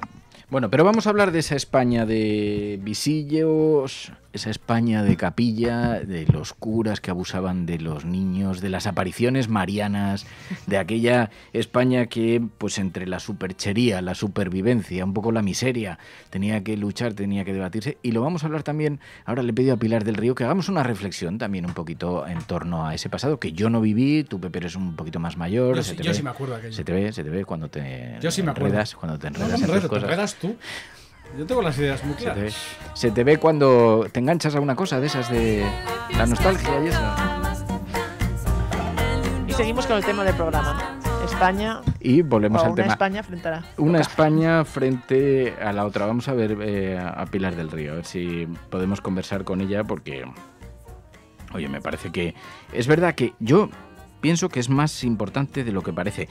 En, la derecha lo llamarían la guerra cultural, pero creo que esa batalla que se libra, que entre otras cosas, lo que también nos muestra, sí, es que España se ha, oye, se, eh, se ha luchado mucho por hacer, por caminar, por modernizar un país. Fíjate, el otro día Zapatero hacía una defensa. Yo creo que si, si me hablabas de campañas eficaces, creo que el elogio que lanzó a España, al camino que ha emprendido de modernidad, Zapatero debería ser mm, Reivindicado. reivindicado por el Partido Socialista. desempeño es muy bueno para España, muy positivo. Fíjese, incluso si no hubiera habido pandemia, el desempeño es, eh, los datos, los resultados son estupendos. La credibilidad internacional de España, la modernidad, estamos incorporando a este país por fin, no llegamos tarde a una revolución industrial, con toda la apuesta digital, la apuesta medioambiental. Ver los datos de empleo en los cinco primeros meses, 470.000 empleos afiliados a la seguridad social, con un dato que nunca había pasado, que el veintitantos por ciento son empleos de alta calidad en el sector científico, innovador, tecnológico. Bueno, ha estado concentrado en eso. Y se ha visto, yo lo he visto en esta campaña, ya ha sido la culminación, la culminación, cuando han empezado, ¿no? Todo, derogar el sanchismo. ¿Pero qué es eso, derogar el sanchismo? ¿Pero qué? ¿Pero qué? Derogar que la subida del salario mínimo interprofesional, la mejora de las pensiones, los empleos que se han creado, las leyes en favor de la igualdad, la consecución de los fondos europeos, los avances en, competi- en competitividad de nuestra economía, que está cada vez portando más. ¿Qué es eso? Es una auténtica burbuja falsa creada con insidia. Te he puesto una especie de música eh, coplilla, Pilar del Río, que no te representa nada, también te lo digo, porque tú eres una de las personas más modernas que yo conozco, pero que me sirve un poquito para contextualizar, para ubicar el contexto de esta conversación. Buenos días, Pilar del Río, presidenta de la Fundación Saramago, periodista, amiga, buena gente. Vale, buenos días. ¿Dónde está la vaquilla? ¿La ha sacado también para modernizar o para contratar? Porque esta música siempre detrás ves a, a- no toreros, pero sí, sí banderilleros y sí aspirantes a toreros y una vaquilla. Y, por cierto, mm, recomiendo a toda la gente joven que, que oye este programa que no se pierda que tiene que ver por lo menos una vez en la vida, y yo la he visto varias, la película La vaquilla. Es genial. Sí, sí, sí, sí, una comedia que retrata un poquito esa España, claro, de la que estábamos intentando huir que habíamos Sí. abandonado por el paso del tiempo, pero que tiene ahí un espíritu reaccionario que empuja por volver, empuja por volver. Estamos viendo con lo de los pactos Pilar del Río, yo es que estoy flipando con algunas cosas, o sea, em, vemos a negacionistas, em, em, en fin, que, que quieren devolver a nuestro país a lo más glorioso de los años 40. Hoy vamos a hablar un poquito de eso, de la España del visillo, de la España del confesionario, de los abusos de los curas, de las niñas que veían apariciones marianas. El discurso ese que hizo el otro día Zapatero, que está en su mejor registro, ¿eh? No sé si coincides en su mejor. Eh, es verdad que mucha gente decía, por Dios, preséntate tú, tú me representas, pero él no se está presentando a las elecciones, es- pero está ayudando y participando en la campaña de una forma tan activa, tan rotunda y tan grande. Y por cierto, hay personas que se sorprenden. Yo no me sorprendo. Le vimos así desde primera hora, le vimos así en aquel mm, terrible eh, 11 de marzo, le vimos entero, le vimos entero cuando dijo se ha terminado la guerra, España no participa más en las leyes que se aprobaron progresistas. Lo que pasa que no le podíamos ver mm, en, en toda su dimensión porque había medios de comunicación, y él mismo lo ha recordado la otra noche, que mm, ocultaban su acción o le tapaban mm, el perfil. Él dice, se consigue una ley extraordinaria y el editorial del periódico El País, lo cito porque lo citó él, omite que ha sido este gobierno quien la ha hecho. Entonces, ahora que ya no tiene eh, esa campaña, porque la campaña tiene otros objetivos, el objetivo de ahora es eh, Pedro Sánchez, el objetivo de tantos medios de comunicación y de sectores muy importantes que han decidido darle nombre a la gestión de Pedro Sánchez, llamarla peyorativamente el sanchismo, sin darse cuenta que hemos pasado por una pandemia y que estamos sufriendo los estragos terribles también de una guerra, estragos morales y estragos económicos, y, y que pese a todo se está trabajando, entonces eh, han decidido no ver los valores positivos que se han conquistado con este gobierno eh, progresista y llamar de forma despectiva sanchismo a esto. Y están empleando millones, están empleándose cantidad de asesores, se están empleando estrategias solo y exclusivamente para ir contra las leyes que se ha aprobado en este gobierno. Es decir, qué daño le están haciendo a algunos sectores sociales estas leyes.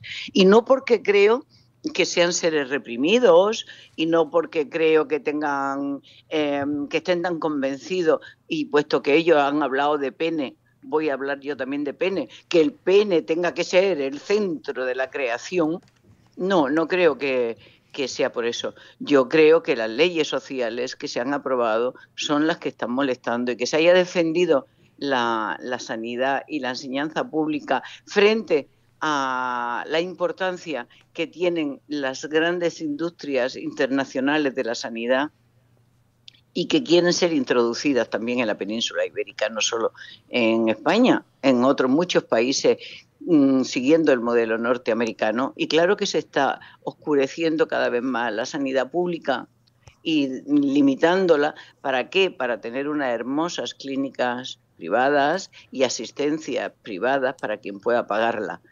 Y lo están todo eso vendiendo de una forma tal que muchas de las personas que van a ser víctimas de las políticas económicas mm, no lo están viendo y van a votar.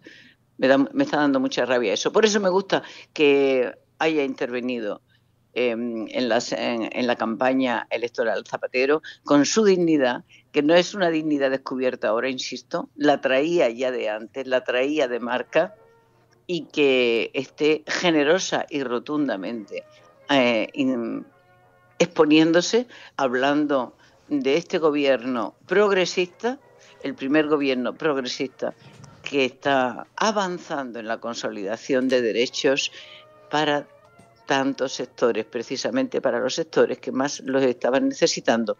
Y hablo de las mujeres, hablo de la comunidad LGTBI y hablo también de los pobres, de los emigrantes, de los que han necesitado asistencia y la han conseguido.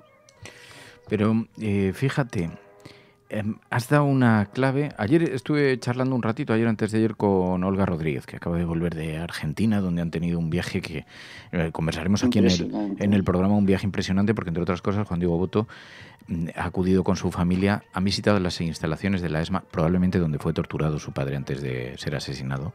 Em, em, creo que emocionalmente ha sido un viaje extraordinario y Olga me estuvo contando un poquito eso. Y entonces me decía, ¿cómo, cómo, cómo se ve, cómo se percibe la campaña? Porque llevo muchos, muchos días fuera. Digo, pues fíjate que aquí ha habido debates en el feminismo, con el tema de la ley trans o todas estas cosas de la extrema derecha ahora frente a pues, las agresiones a las mujeres, todo esto. Y me decía Olga, ¿sabes qué pasa? Que en realidad todo se sintetiza en una cosa. Respeta que los demás vivan como quieran. Y ese es el paso que no, que no terminamos de dar. Respeta a los demás, deja a los demás en paz. Dice, ¿tú, quién eres tú para decirle a nadie cómo tiene que ser su vida, si quiere cambiar o no de sexo? Eh, ¿De qué manera te estás metiendo tú en la vida de los demás? O, o ya con todas las... eh, la, la forma de juzgar permanentemente de la extrema derecha a comportamientos y hábitos sociales y dices, pero ¿quién eres tú para decirle a los demás cómo tienen que vivir su vida o qué quieren hacer con su cuerpo o cómo quieren conducir eh, m- eh, sus relaciones o, o- o todo esto, ¿no? Es decir, si se Claro, sintetiza en una cosa, respeta a los demás. Pero tú vas a hablar ahora con, con, Juan Luis Cano y, mm, y vas a hablar de la España de los 40. Y es que están queriendo volver otra vez a la España de los 40. Claro que para respetar a los demás tiene que haber una base legal que lo permita. Claro que tiene que haber una base legal que permita que puedas cambiar. Eh, si no te sientes de acuerdo, si no te sientes bien, si no te sientes honesto dentro de tu cuerpo, pero también mm, tienes que tener tienes que tener la base legal que te permita abortar Claro, si tú no has querido tener un hijo, si ha sido una equivocación. Y una, un hijo no puede ser nunca una equivocación. Claro que tienes que, que si sabes que, que no puedes seguir viviendo y que lo que te espera es sola y exclusivamente un- una cadena de sufrimiento, tienes que tener acceso a la eutanasia, pero tienes que tener una base legal. Y esas son las conquistas que hemos hecho. Estas bases legales que no obligan a nadie, no obligan a nadie a divorciarse ni a cambiarse de, de, sexo, ni, ni te obligan a, a que te mueras. Simplemente posibilitan a quien quiera, si es que hay una persona que quiera hacerlo, que lo pueda hacer. Pero fíjate, estoy de acuerdo con lo que decía Olga, pero también hay otra cosa que creo que nos está faltando y que mm, tenía mucha ganas de entrar en el programa para decirlo y lo voy a estar diciendo todos los días donde pueda y haciéndolo también donde pueda. Y es que es verdad que hemos transmitido, sobre todo la gente de izquierda, los, los problemas, las confusiones que se generan en las listas, mm, pero que todo esto es un proceso vivo. Las aguas muertas, las aguas muertas no enseñan nada tiras una cosa y se queda y se va al fondo. Las aguas vivas eh, exhiben todo su movimiento y exhiben sus conflictos. Todo esto ha pasado, pero yo ahora lo que quiero que, que se vea es que estamos contentos, que estamos contentas, que mm, tenemos alegría. ¿Por qué tenemos alegría? Porque vamos a votar, porque el futuro no depende ni de Franco, ni de los franquistas, ni de esos tipos de voz, ni de esa gente. Depende de nosotras y de nosotros. O sea, depende de mí. Y tengo tanta alegría de poder decir, voy a intervenir, voy a decidir mi futuro. No me lo va a decir el pasado cadico, caduco, ese pasado que huele tan mal, que apesta, por Dios. No, ese pasado no. El presente, lo digo, lo estamos eligiendo nosotras, nosotros, con nuestra fuerza, con nuestro entusiasmo que nos gustaría, a mí personalmente, que me gustaría que Irene estuviera, Irene Montero estuviera en una lista. Sí, no está, no importa. Voy a estar con ella apoyando y quién sabe en cuántas otras aventuras vamos a estar juntas en el futuro. Y, y de verdad te digo, alegría. Hay una canción de, de Chico Buarque que, que, que se hizo como la canción de- del final del bolsonarismo y que se utilizó en la campaña, eh, ¿qué tal un samba? Y yo digo, ¿qué tal un cante? ¿Qué tal un cante? Vamos a cantar todo el tiempo para acabar con los malos rollos, para mm, frenar a esto.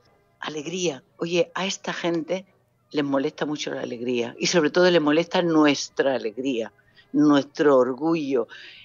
les molesta también que la gente sea joven, ¿eh? porque muchas de las personas que se están manifestando por ahí mm, es que lo que les fastidia es ser mayores y no ser jóvenes. No, total. Bueno. Qué grande. ¿Dónde andas, Pilar del. Río? ¿Dónde estás ¿Perdón? estos días? ¿Que dónde estás? Estoy en Lisboa, Ah, estás en Y- Lisboa. Uy, qué suerte. pero Lisboa está cerquita de, de España. Oye, y, mm, y una cosa, eh, te he oído que hablabas antes de Amalia Bar- Barcárcer, que fue consejera de Estado, que es una mm, eh, reputada socialista y que parece que ha pedido el voto para el PP. Eh, a lo que yo sé y he estado confirmando esta mañana, ella no ha pedido el voto para el PP ni ha dicho que vaya a votar al PP. Ella no está de acuerdo con algunas gestiones de este gobierno y como tal lo ha dicho eh, y le ha agradecido al Partido Popular que haya hecho rectificar porque ella detesta profundamente la ley del sí.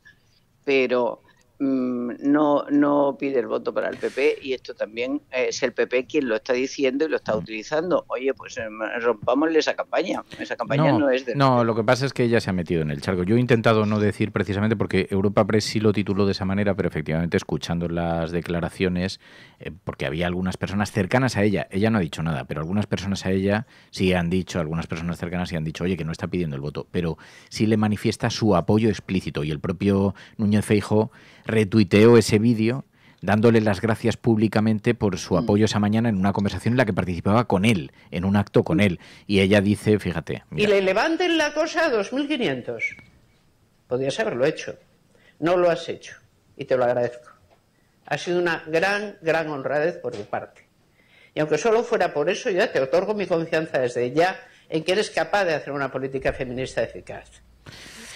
Esas palabras efectivamente no pide no pide expresamente el, el voto, te otorgo mi confianza si gobiernas y tal. Podía, podía ser una declaración transversal, pero como su distancia con el Partido Socialista actual, con la ley del solo sí es sí, con el Ministerio de Igualdad, con la parte de Unidas Podemos del gobierno, desde luego, pero eh, como su distancia ya lleva algunos, algunos meses pues siendo puesta en, en discusión, pues esto ha sido como de pronto un jarro de agua fría en el debate público en torno a una figura que es tan destacada. Pero, pero tienes razón, ella no ha, pedi- no ha pedido explícitamente el voto No, y, y- Y el PP la está utilizando, y es lo que hay que decir todos los días, perdón, el PP la está utilizando a la consejera de Estado, que es verdad que se ha dejado llevar por el encono y por eh, porque detesta profundamente a, esta gente, em, así la califica ella, de, de, de Podemos y la ley del sí es sí, pero bueno, mm, fue a, un acto y ahora tiene que asumir las consecuencias, y las consecuencias es que la están utilizando.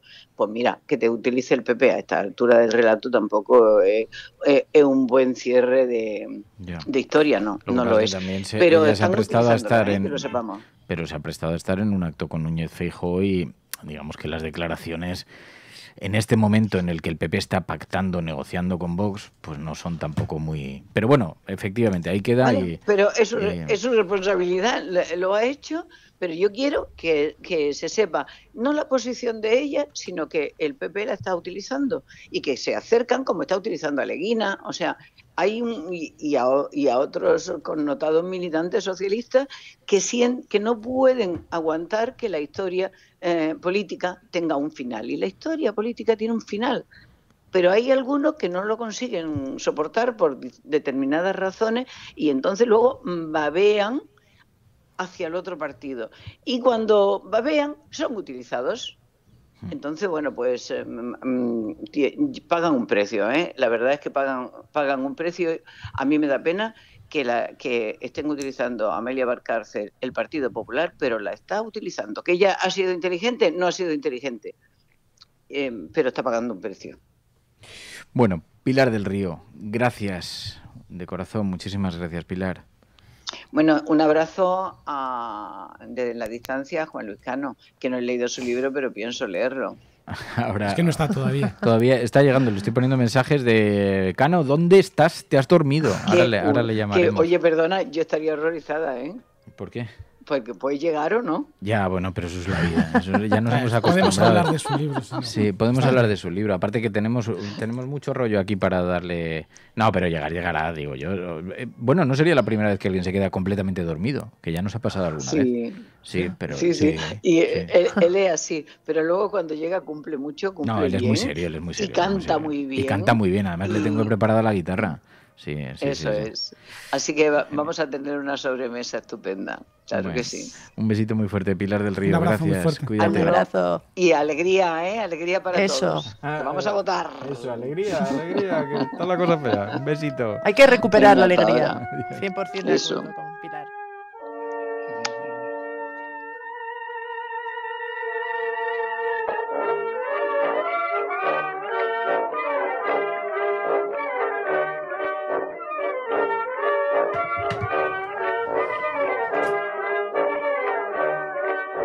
Ya está por aquí por el- en el estudio Juan Luis Cano, que se ha...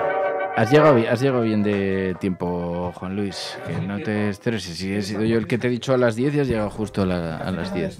A ver. He llegado a las 10 menos 5, a las 10 menos 5, pero el ascensor ha tardado 7 minutos en subir desde el bajo. Es que lo queréis todo, queréis ascensores eficaces, sois la burguesía si del... esta vez pasas la prueba. Eh, eh, un momento, he, he preparado, he programado en la cafetera, he programado en la cafetera, a ver, voy a voltear las cámaras, he programado en la, cafet- la cafetera para que a las 10 menos 5 se pusiera el café. Si está frío ya no es culpa mía. Es que tenemos anécdotas de todo tipo, Juan Luis Cano. Vamos a hablar con Juan Luis Cano ahora en la sobremesa de la cafetera, largo y tendido, sobre su novela, que además se ha traído un ejemplar. Yo fui Santa, Juan Luis Cano, que lo vamos a sortear de la editorial Menos Cuarto. Lo vamos a editorial, lo vamos a editorial eh, entre los sorteados. Tú trabajas en la radio, ¿no? Lo vamos a editorial entre los. Pero, pero soy seguidor de Fijo. Lo vamos a editorial entre los sorteados. Lo vamos a sortear entre los, eh, entre los seguidores. Así que mm, eh, no os vayáis, que vamos a hablar. Ya sabéis que Juan Luis Cano es una persona muy divertida, muy simpática, que nos va a alegrar la mañana y nos va a dar algo de optimismo y de expectativas. Esto es La Cafetera. Si lo estás escuchando, eres la resistencia y no estás sola. Sigue con nosotros, que tenemos que mm, abordar muchas cosas todavía.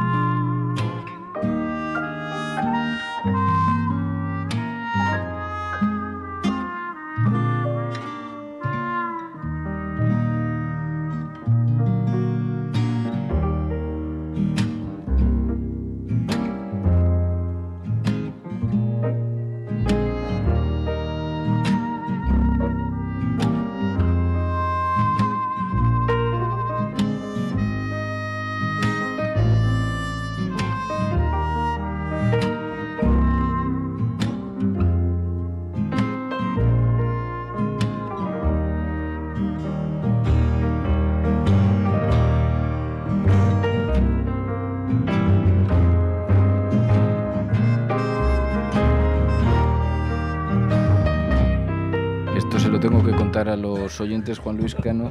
Si tuviéramos un millón de suscriptores, me pregunta, me dice... Hola, hola, sí, sí, A se ver. oye perfectamente. Pero tengo que ver cuál es el micro. Ah, a ver. Estaba abierto, ahora Yo me has quiero cerrado. Ahora está bien, ahora está bien. Ahora está abierto. ¿Tiene azúcar para yo? Vale. Eh, tenemos experiencias numerosas con nuestros queridos invitados cafeteros. Eh, Zapatero eh, estuvo hace unas semanas aquí en el programa y entonces cuando le dimos el café dijo, esto está frío. No, este está estupendo. ¿Está bien? Pues ha sido está perfecto, perfecto, pero me ha engañado, me ha dicho que tenía azúcar y no, ahora, ahora sí. Pero, pero- No. ¿Sabes que el azúcar morena es exactamente igual que el azúcar blanca, no? Sí, bueno, pero tiene él, yo no soy así. Ah, no igual, igual. No, yo, yo uso miel.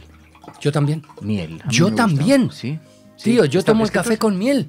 Estamos muy conectados. Café con leche, el café solo no. Café solo lo tomo sin nada. Eh, yo es que café solo, eso es un bombazo para la... Eso es un bombazo para el cuerpo, ¿no? ¿Qué dices, tío? El café es una de las maravillas más maravillosas que, se ha, que ha descubierto el ser humano. Eh, yo no quiero nada, gracias, Pepe, pero siéntate, que me estoy Siéntate. Pepe, hombre, que nos pero tienes aquí ago- agobiados. Había puesto el cajón flamenco para, para, Juan mí? Luis. Sí, pues yo estoy de compás como de dinero. Eh, pero si tú cantas flamenco. Yo canto muy mal. No, no, Canto, no, no, lo que pasa es que no, me no, gusta no. mucho, pero vamos, de compás, mira, mi amigo Gamboa que nos está escuchando te lo puede decir. Voy a, voy a abrir, Pai, te abro el micro, eh, incorpórate a la conversación. Es más difícil gobernarlo desde aquí. Eh, entonces ya sabes tú cómo va esto, con lo cual cuando quieras intervenir, cuando quieras participar, pues tú tranquilamente participas. ¿Yo? ¿Vale? No, a Pai. Vale. Es- Un abrazo a Juan Luis. Hola. Es, es Pilar, Pilar de la Peña que te está escuchando. Pilar. Es la voz de la conciencia en la cafetera. muy bien, muy bien. Tenemos Una, una voz un poco concienciada. Se hace lo que se puede. Eres los pozos del café. Entonces te decía que eh, hemos tenido experiencias, a ver qué, con qué experiencia nos brindas esta mañana. Porque, Venga. mira, Antonio Maestre se quedó encerrado porque rompimos el tirador. Qué bonito. Y entonces tuvo que hacer, porque allí esas cosas, no sé si él es de Coslada o de algún sitio así, estas cosas dice que él las tiene muy dominadas, entonces tuvo que hacer una especie de ganzúa para abrirnos la puerta. Consiguió no sé. salir.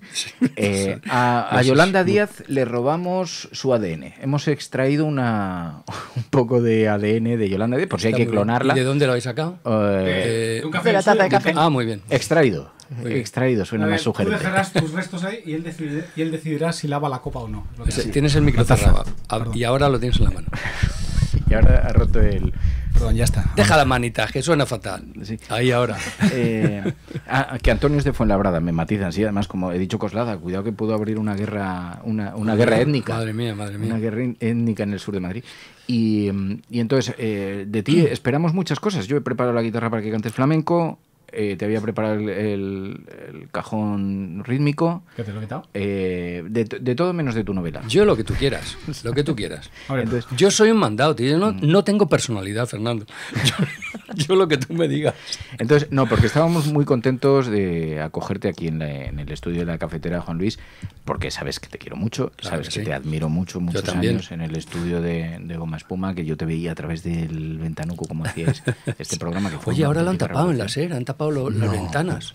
No, del estudio. De todos. O ¿Ah, sea, sí? tú vas por los pasillos y ya no ves lo que hay dentro de Nosotros- los estudios. Es que tampoco idolatramos medios vintage.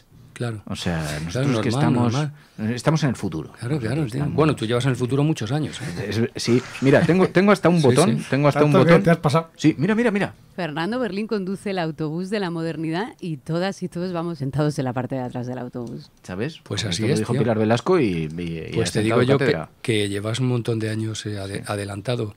Ahora sabes lo que pasa a los que eh, se adelantan a, a los tiempos, ¿no? No. Sí, sí lo sabes. a mí me ha pasado lo mismo. Siempre hemos ¿Te ha ido un poco por delante. ¿Te Bueno, la verdad es que nosotros nos ha ido muy bien, ¿eh?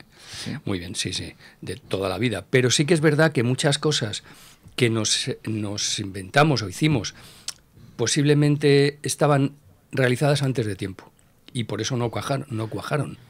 En muchas ocasiones Hombre, nos ha pasado. Goma espuma fue. Goma espuma sí, pero por ejemplo... boom, Una revolución fue- total. Vamos. Bueno, en radio. Los que- En radio sí, pero luego, por ejemplo, hicimos un programa de muñecos. Pero en la tele era maravilloso. Ya era maravilloso, pero no lo vio, no lo veía ni Dios. Ya. No lo veía ni Dios, porque era al principio de, de las televisiones privadas, cuando no había cultura televisiva, un programa de marionetas con humor adulto, con lo cual era un, un choque tremendo porque las marionetas se identifican con la infancia, y en fin, que no, no cuajó, no cuajó. Y, y ganamos muy poco dinero, estoy por decirte que perdimos. Bueno, pero, pero sin embargo se instaló. Bastante. Claro, claro, pero porque lo estás planteando como que el éxito se mide en tarifa económica. Mm, No, no, Eh, pero tampoco, para alguna- no solamente tarifa económica. Te voy a decir, para- También en, en- en audiencia, porque tuvimos en aquel momento cuando se emitió, luego fíjate, en YouTube ha sido un, un programa de, de- de- que- culto. de- de culto, pero Claro. en aquel momento cuando se emitió, creo que lo vieron 17 No me acuerdo si fueron 17 Pero- o 19. Pero vosotros sois, sois un referente para, para Sí, mucha sí. gente. No, en serio, coño. Sí, te lo, digo, sí. lo digo de verdad. Hombre, además- por favor. transversal. ¿Me vas a Bueno, que, que eres la bomba. Coño, que estáis ahí. Ah, ah. Muchas gracias, muchas gracias. Pero es verdad, es verdad, eh, Juan Luis, porque mm, eh, mucha gente como yo, cuando veía, pues veía en el estudio de M80, tú fíjate, yo sé que Felipe González, cuando fue a la entrevista, que Sí. eh, había dejado de conceder entrevistas y fue Sí. una entrevista con vosotros que, sí. que tuvo una enorme repercusión. Yo sé que fue María González, que la tuvimos hace poquito también aquí. Eh, fue su hija. Sí, la que le convenció. La que le convenció, porque como tantos tantas personas de aquella generación, el gran referente en la radio era, Goma Espuma. Sí, sí, fue brutal. Porque era información, pero contada de una manera La- diferente a través del humor. que conseguimos cosas impresionantes, ¿eh? Porque mucha gente eh, se queda con que eh, Puma era un programa de humor, que lo era, pero conseguimos cosas espectaculares. Mira, por ejemplo, ahora que me acuerdo, cuando nombraron rey Abdala de Jordania, que fue además después de la segunda antifada, que fue un momento muy peligroso en Oriente Medio, eh, él no había concedido, y yo no creo que, no sé si ha concedido alguna entrevista más, ya como rey, nunca jamás había concedido ninguna entrevista. Eh, claro, conseguir una entrevista con el rey Abdalá en aquel momento, después de la segunda antifada, con, con la cantidad de palestinos que estaban refugiándose en Jordania, con todo aquello, era tremendo. ¿Sabes a quién concedió la única entrevista de su vida? A vosotros. A Goma Espuma. ¿Y cómo lo conseguisteis? Es muy largo de contar. Es Porque muy él, largo él de- no era oyente del programa. no, era muy la- es muy largo de contar. Pero eh, el que de verdad, de verdad eh, nos hizo de intermediario fue el actual rey de España. No te puedo creer. Sí, sí, sí. Porque era- en una, en una cena, no, no, eh, claro. En una cena en- en- con el embajador de Jordania en España, en Londres. Y entonces nosotros habíamos solicitado la entrevista y tal. Y entonces este, el rey Abdalá le preguntó a, a este, oye, ¿y esto? Y dijo, sí, y el rey Juan Carlos, de- digo, el rey Felipe de- actual le dijo, sí, sí, ve, ve, ve, que son muy buenos. No te puedo Te creer. lo juro, te lo juro. Fíjate. Luego esa entrevista la replicó en texto el New York Times. No- nos pidió permiso, nos llamaron para replicarla y la, y la replicaron en el New York Times. Por ejemplo, fuimos los primeros desde la- el triunfo de la Revolución Cubana que conseguimos emitir en directo sin censura previa desde La Habana para el extranjero. Emitimos cinco programas seguidos. Y claro, lo hicimos mintiendo. Nos tuvimos tres o cuatro meses, tres o cuatro meses de negociaciones, de papeleos, de no sé qué tal. Entonces, eh, ya cuando nos dije, ya no- nos denegaron la- el permiso y dijimos, pero ya si es un programa musical para promocionar la música cubana. Y cambió todo y nos dieron el permiso. Y entonces emitimos desde Radio Rebelde, estuvimos emitiendo cinco, cinco días con una paellera que poníamos de satélite en la, en la en la azotea de Radio Rebelde, ellos no pillaban muy bien que aquello se estaba emitiendo a la vez. Entonces estábamos entrevistando, me acuerdo, al comandante Lester, que había, era un miembro del gobierno en aquel momento. Y claro, estaba con nosotros en el estudio y, y en el control había 10 personas. Bueno, 10 personas allá donde íbamos con nosotros. Y entonces estábamos ahí para entrevistando. controlaros. Sí, sí, claro. Estábamos con- eh, entrevistando al comandante este y le estábamos haciendo preguntas entre pues una de cal y otra arena, ¿no? Entre una así divertida, luego le dábamos cañita. Y entonces, así por, por órdenes, eh, en el botón de órdenes del, del control, uno de los que estaba allí eh, tocaba así y nos decía por los cascos. Eso no se lo puede usted preguntar al comandante.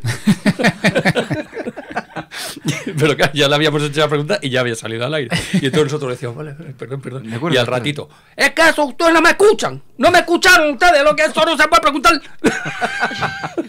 Fue brutal. Bueno, pues lo mismo nos pasó desde Pekín.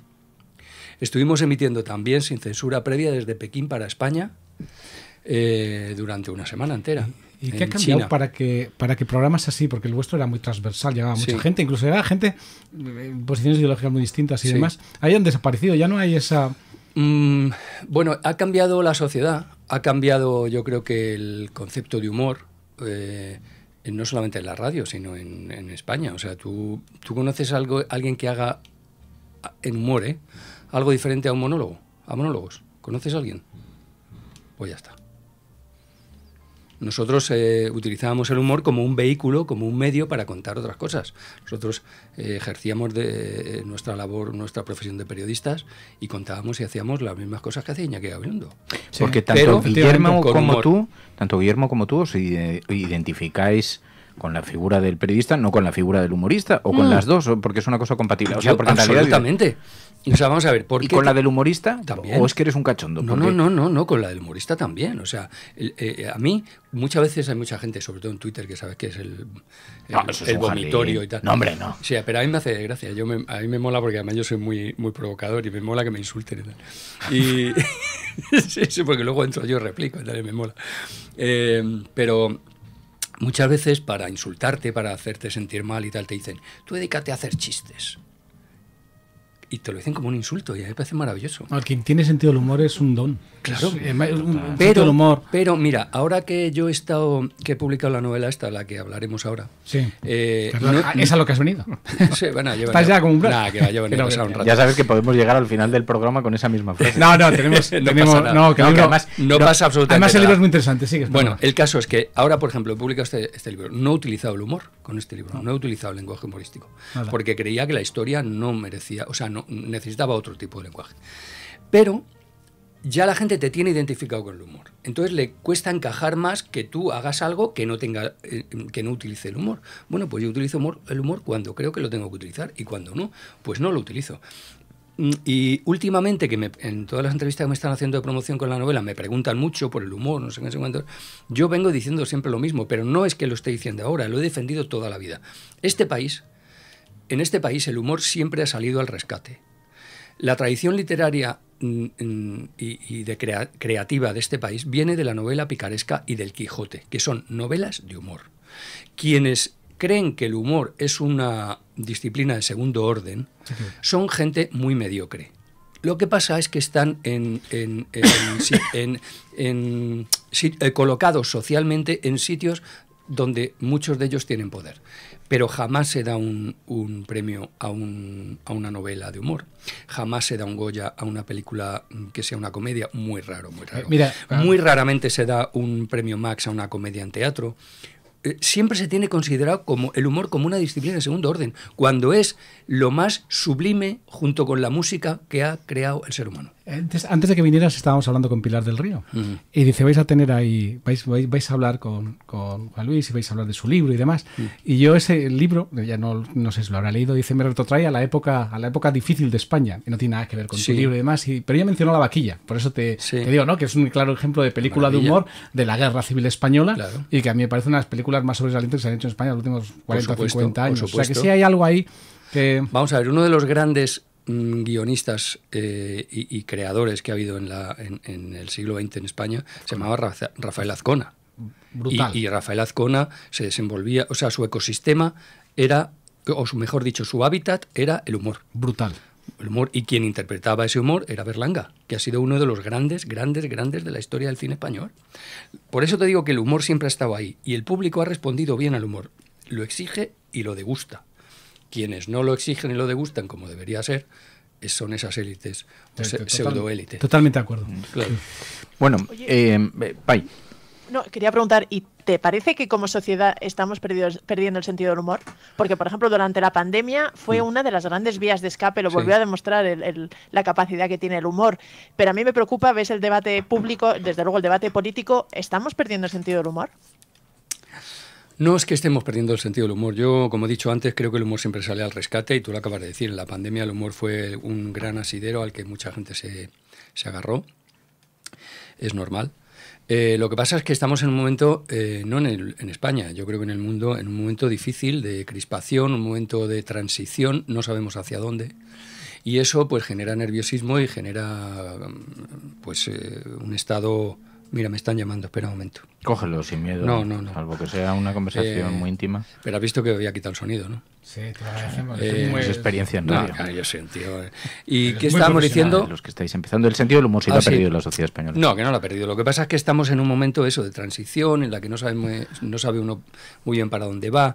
Y luego sí que es verdad que, que las redes sociales contribuyen bastante a la crispación. Entonces, si tú estás crispado, pues está, posiblemente estés poco receptivo a la ironía.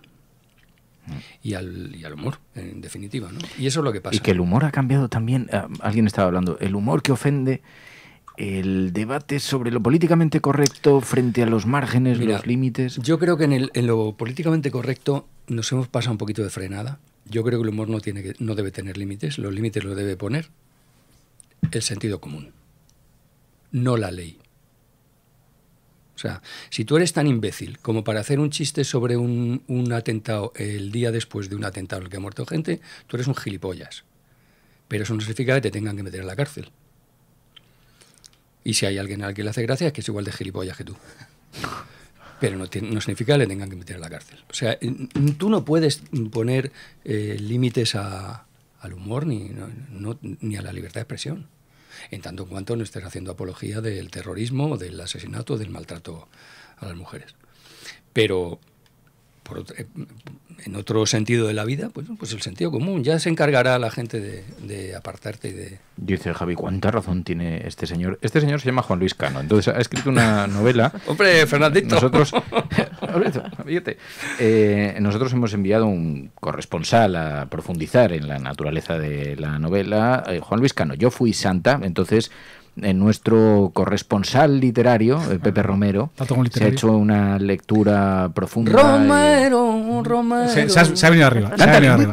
cántale, que te pongo, que te pongo. Luego, luego, luego, luego, luego, luego te canto lo que Bueno, quieras. Yo, yo Y- sigue, perdona. Fran. Entonces nos servía también como, como eh, argumento para hablar del contraste de la batalla que se está librando precisamente ahora en materia política, donde vemos una España que mira hacia adelante, hacia el futuro, que quiere avanzar, que quiere evolucionar, la modernidad frente a lo reaccionario, el retroceso, esa España de el visillo, de los curas, del eh, visillo y sacristía, y eh, curas que abusan de niñas, niñas que ven apariciones eh, marianas, Mm. esa España de los años 40 que tú describes en tu, en tu novela.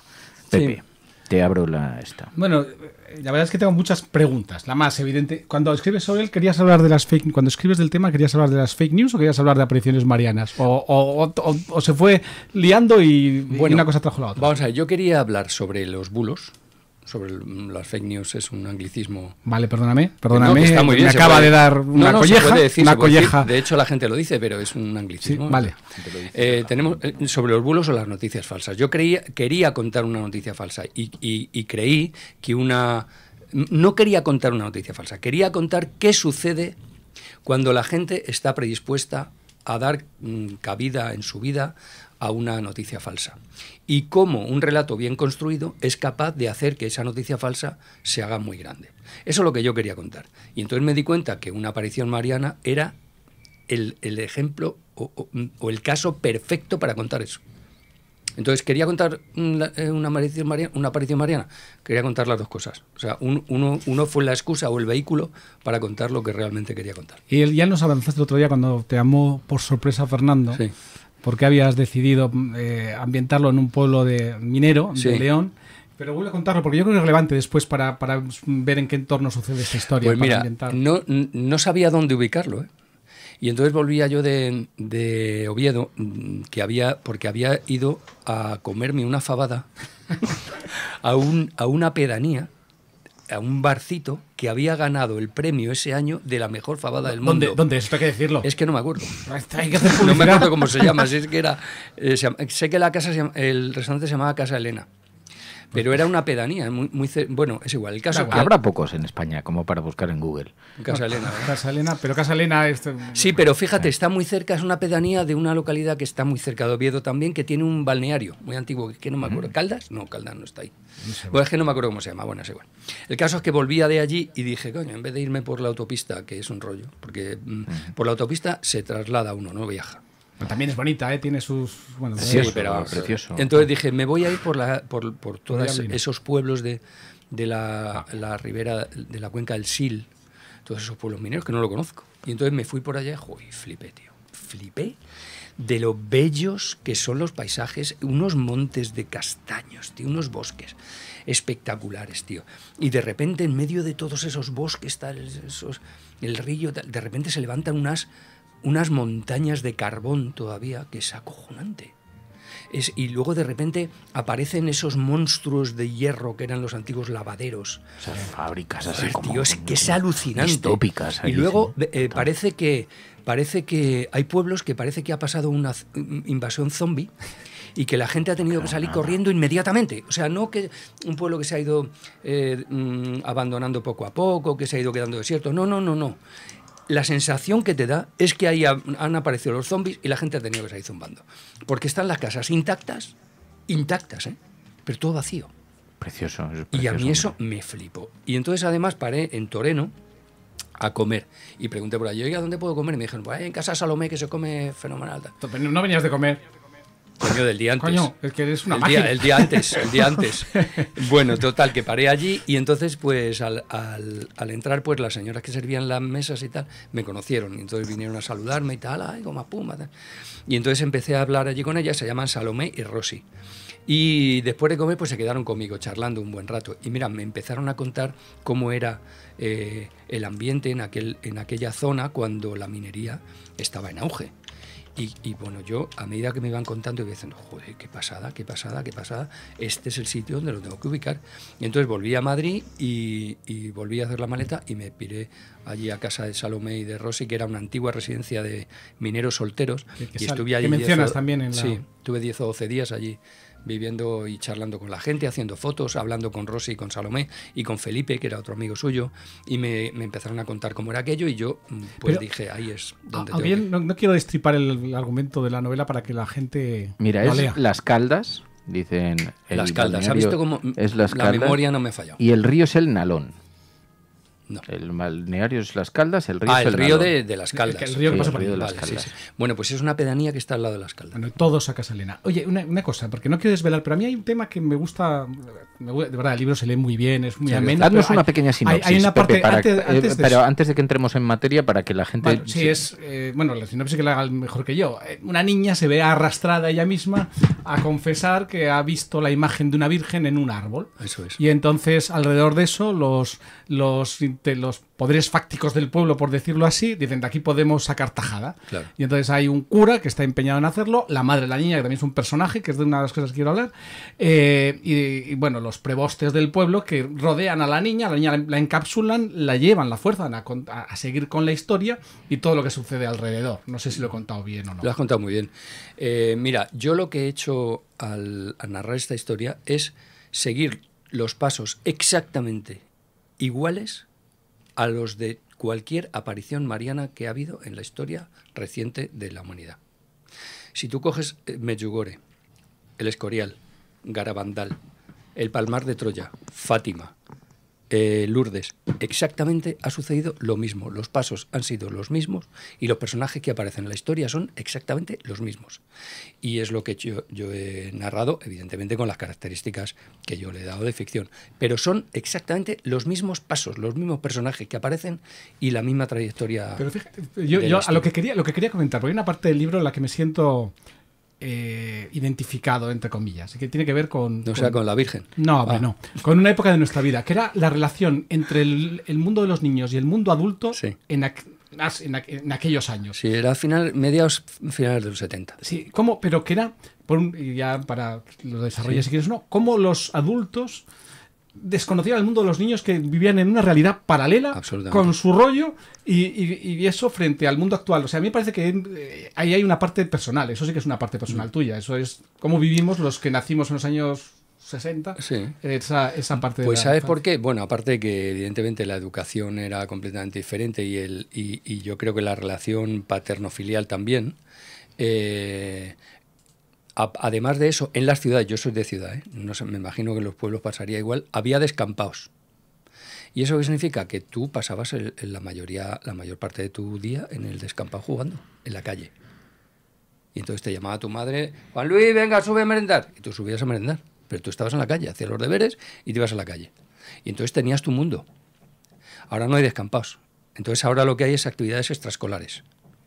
Entonces eso te forma de alguna manera, pero te, te, te, te ha, dejado, o sea, has dejado de vivir una parte de socialización y de intercambio de experiencias y de, vid y de vida con, con, tus amigos en, el, en el, mundo de, eh, en ese mundo eh, paralelo, ¿no? Al de la familia, al del colegio. Eso ya no existe, por lo menos en las ciudades. Y fíjate, ahí, ahí frente al, al mundo cerrado, que nos pasaba también cuando éramos pequeños, aparecían siempre dos o tres figuras adultas que se convertían en nosotros en una referencia de que podía haber un mundo mejor.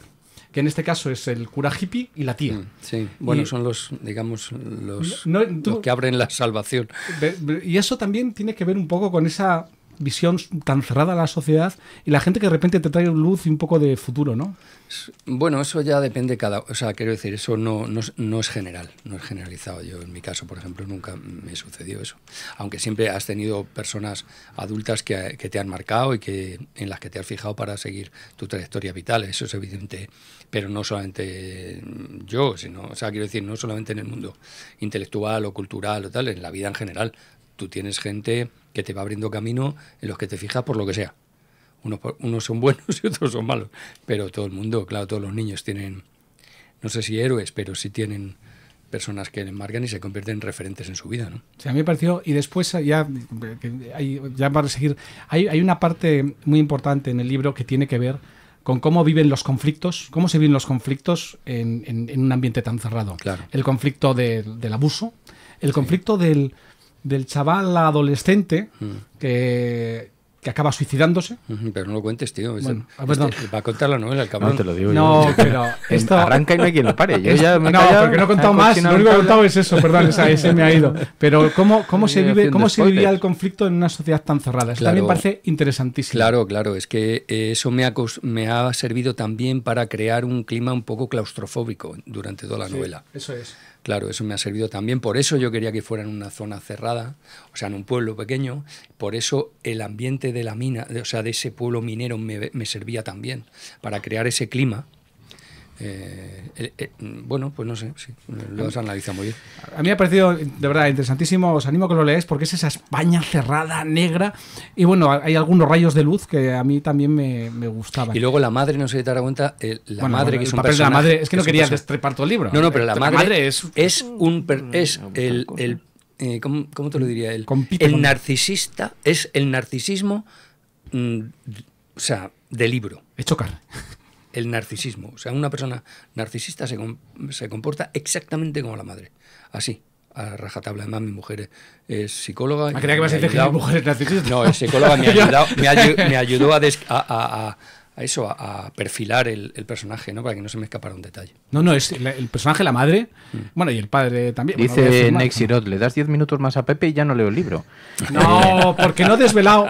No, porque salvo el tema que me ha venido eh, Juan Luis con razón, tampoco he desvelado mucho más. No, No, no, es Que no, que no, desvelado. que está bien. Además, eh, necesitamos eh, la aproximación, la fotografía del libro, porque lo vamos a sortear para que la gente vea Claro que, que sí. estamos sorteando algo que tiene. Ah, bueno, y he quedado que- que no finalista tiene de un las- premio muy importante. que Sí, no sí. tiene las páginas en blanco. El, el, eh, ¿Cómo se dice? ¿El setentavo? No, Se- se- se- se- septu- se- septuagésimo, septuagésimo premio. Septuagésimo, es que gente tan- es viajada. Sería el uno partido por 70. Eh, se- septuagésimo premio Ateneo Ciudad de Valladolid. Sí, Has es un premio, finalista. es el segundo premio más eh, antiguo de España, un premio total y absolutamente transparente, al que tú te presentas eh, con seudónimo. Está muy bien dotado, es uno de los premios más importantes de, de este país.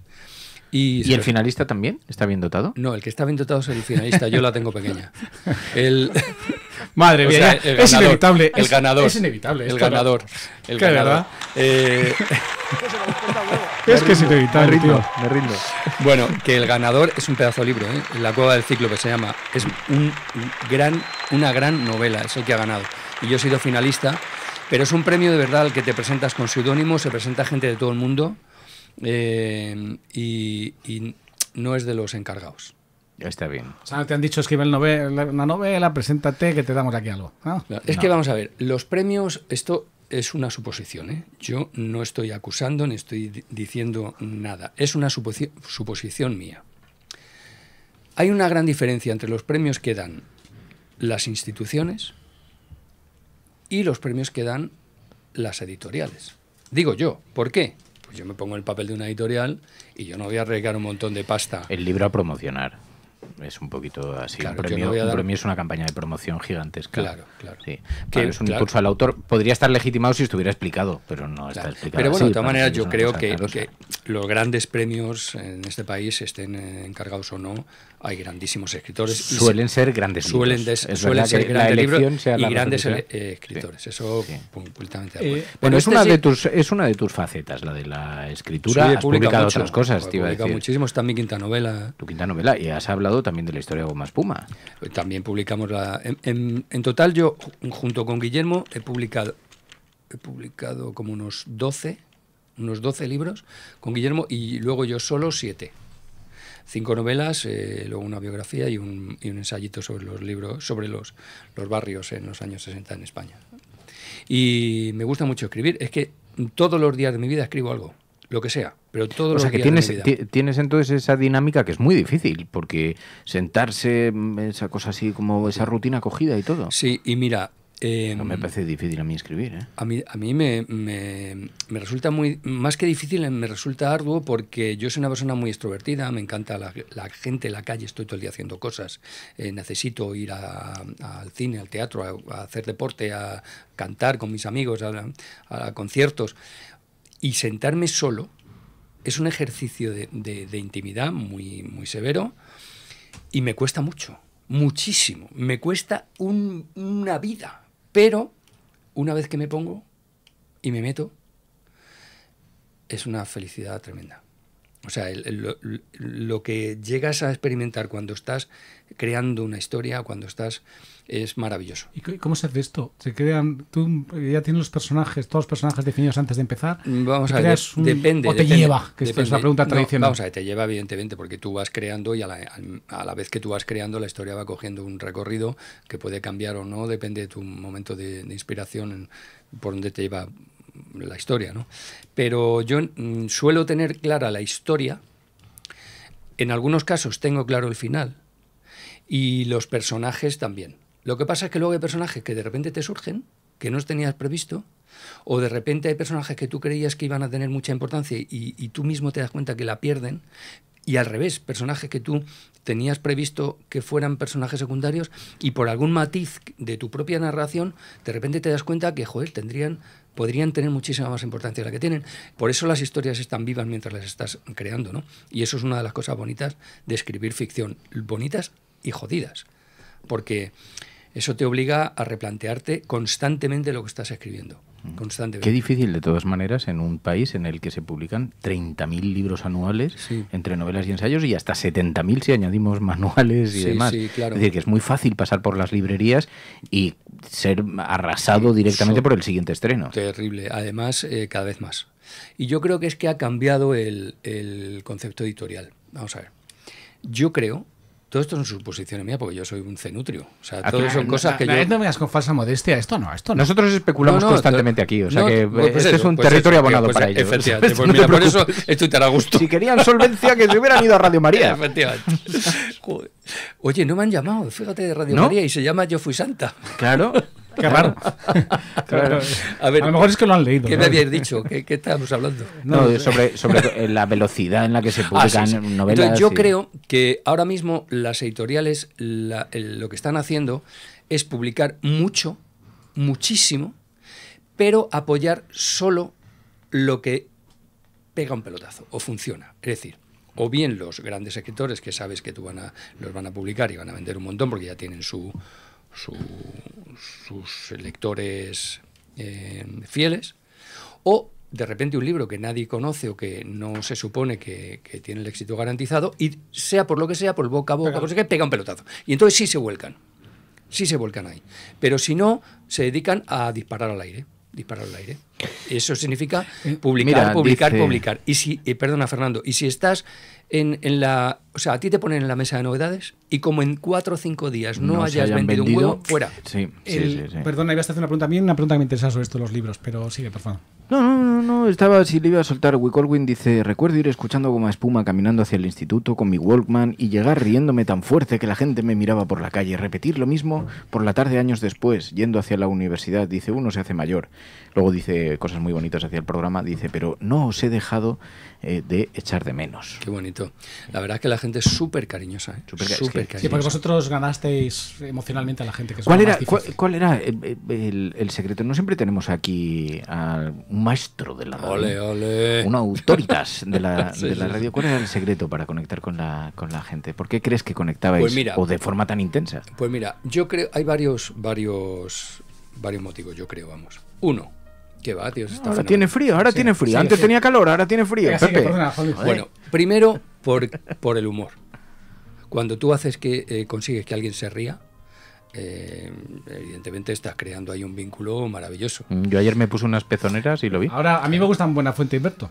y a mí también, claro, que son, son- dos genios. son dos genios. Entonces, cuando tú utilizas el humor, mira, cuando si tú haces, a- si yo te digo, Fernando, dime cuáles han sido hasta ahora en tu vida los momentos en los que has sido más feliz. Estoy seguro que en una gran parte de ellos Te has reído. te has reído. Estoy seguro. Luego son otros Sí. momentos emocionales. Bueno, te podría hija. contar. Yo es que he tenido experiencias, pero ese es otro capítulo que igual no es el momento. El sexo también vale. ¿eh? También, eh, eh, pero, Pero siempre con sexo risas. con risas mucho mejor. Siempre con O sea, risas. Quiero decir, sí. el humor Sí. eh, siempre eh, es un buen acompañante para crear vínculos. Y luego, otra cosa es que nosotros éramos absoluta y totalmente transparentes en antena. Es decir, yo en antena contaba mi vida. Ya, que, es- que eso- Era- sí, pues eh, yo creo que No cambiaba nada. nosotros, Ponías una barrera. Te voy a decir, Claro. Juan Luis, que nosotros somos los hijos de Goma Espuma. Claro, porque O sea, eso es así. No, porque es verdad, porque nos hemos criado en ese eh, escuchándos, Claro. escuchando ese tipo de radio y expresándonos de esa manera así como desenfadada y un poco loca y contando aquí Y las tú eres cosas Fernando de la vida. Berlín en el micro y, Fernando Y Berlín Fernando, fuera del sí, micro. sí, pero me parezco bastante más. eh, Claro, sí, pues eso, es eso es clave. Sí, pues Y esto luego, sois, por supuesto, sois la inspiración. y lo- muchas gracias. Y luego, por supuesto, que el producto que sea, sea bueno, que esté contrastado, que decir, o sea, tú puedes Sí, ser muy natural. falta. Pues- sí, eso falta, sí. Eso, eso es verdad, eso es verdad. Esa nos hemos quedado- no, pero verdad, o sea, que luego eh, el rigor profesional también tiene que estar ahí. Sí, pero eso lo pone Pai, eso nosotros ya. ya, ¿sabes? Lo No, y. Goma Espuma, yo creo que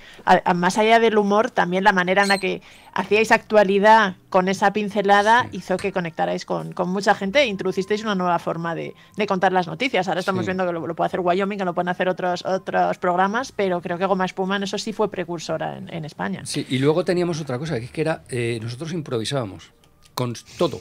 Pero con una habilidad de la todo, Están contando, dice, mítico el día que Guillermo se dejó una pata de jamón en el taxi, Brutal. llamaron hasta al Ministerio de Interior. Hicimos, sí, sí, hicimos lo, lo llamamos Operación Jaula.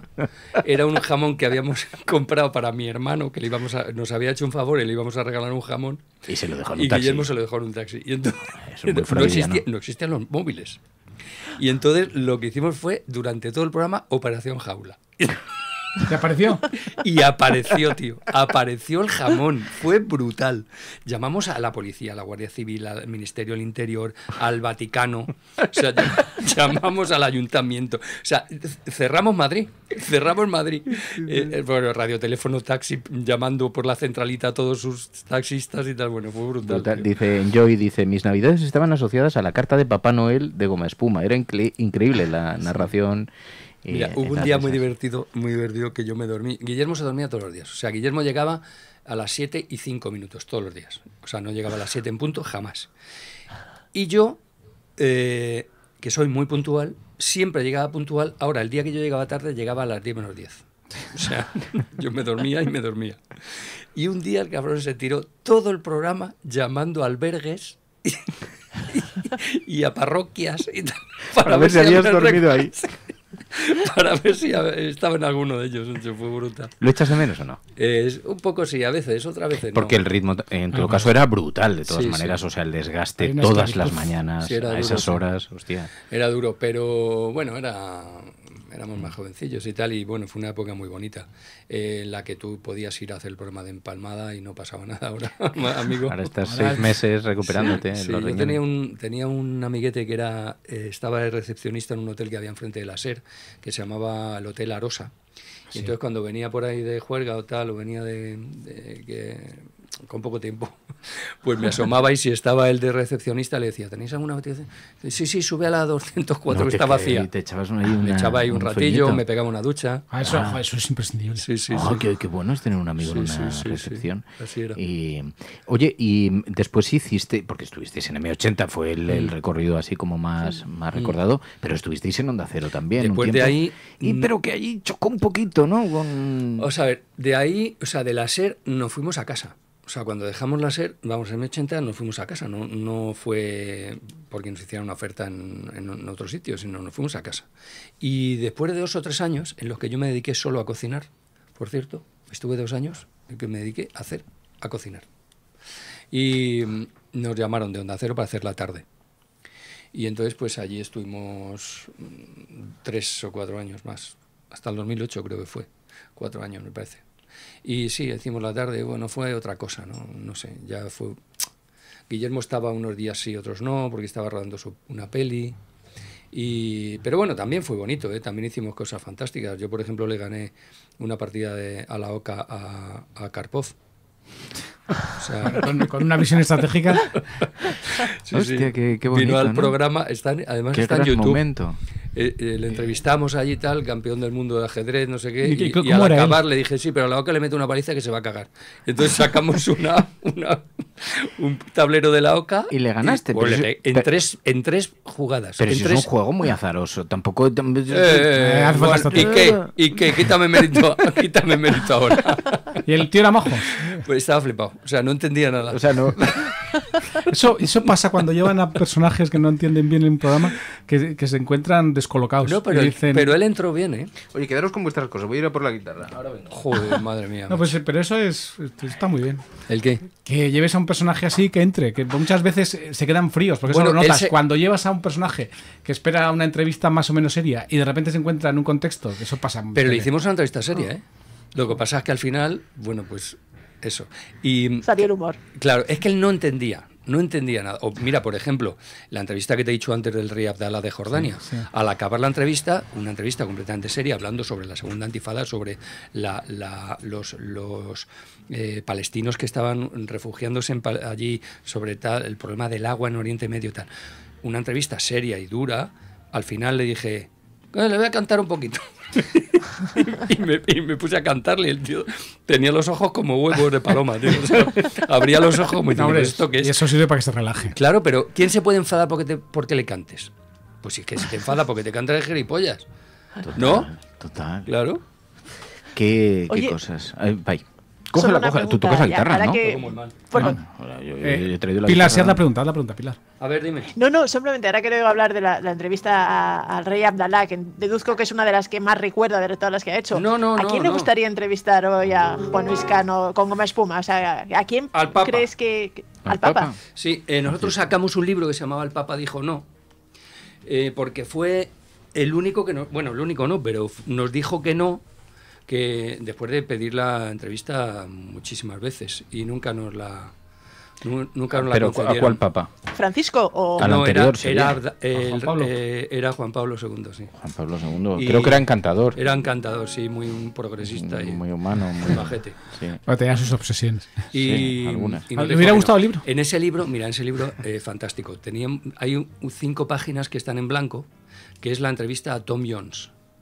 Porque nos concedió una entrevista a Tom Jones en Londres, en su club. Y entonces cogimos el avión, nos fuimos a Londres, nos fuimos a su club, le hicimos la entrevista, fue espectacular. Acabamos Guiller- este, eh, Tom Jones y yo encima de una mesa cantando Delilah. Fue brutal. Y bueno, salíamos encantados, Guillermo y yo, en el taxi volviendo al aeropuerto. ¡Joder, qué maravilla! Tal, qué entrevista más guay. Y de repente, macho, no habíamos grabado nada, absolutamente. Perdón. Eso es muy duro. Muy duro. Y entonces en ese libro de entrevistas, pues... Qué horror. eh, eh, pusimos la entrevista, que eran cinco páginas en blanco. A ver, posa un momento, pon cara así un poco de seductor o algo aquí para la cámara.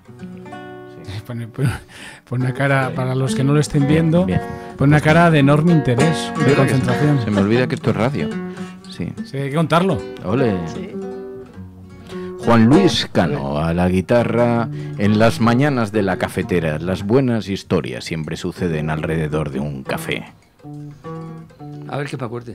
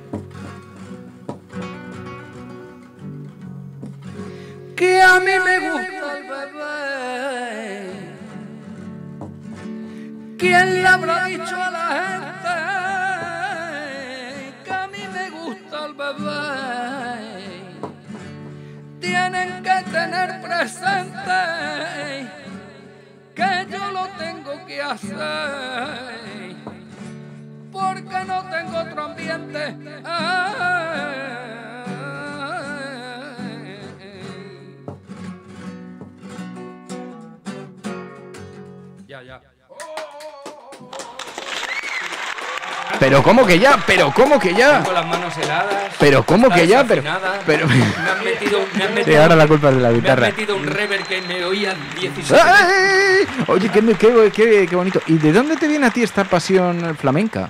Pues es muy largo de contar, pero bueno, mm, mi madre cantaba muy bien, aunque mi madre cantaba copla, ¿eh?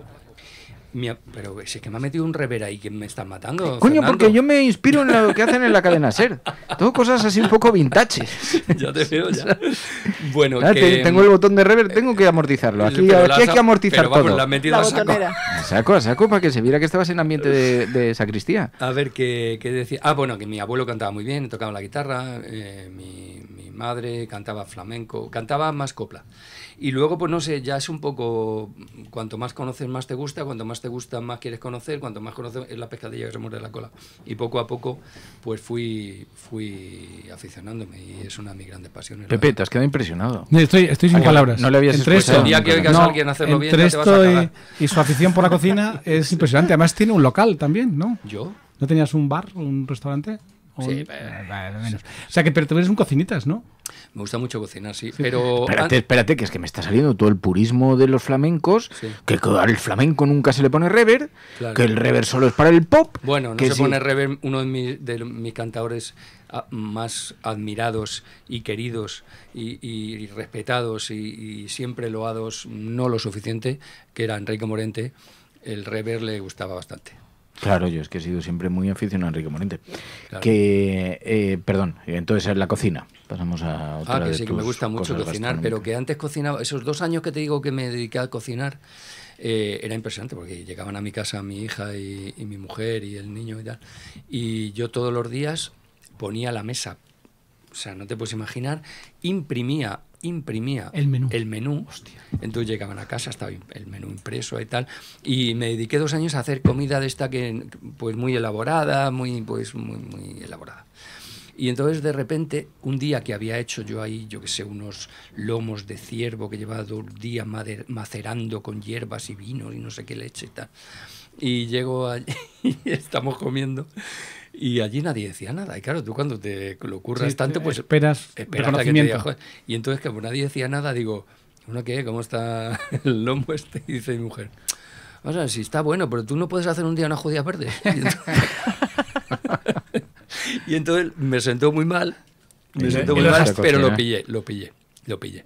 Y entonces a partir de ese momento sigo cocinando todos los días, para comer y para cenar, todos los días. Pero ya hago una cocina muy tradicional, mucho Ay, más de la cocina de mi madre. No te dejan expresarte, Juan Luis. Sí, sí me dejan, sí me dejan. Lo. No, hombre, y además te, te lleva mucho tiempo. o sea que- Están haciendo ludegas. Porque te si lo digo. haces... Mátalos a todos. No, que va, que va.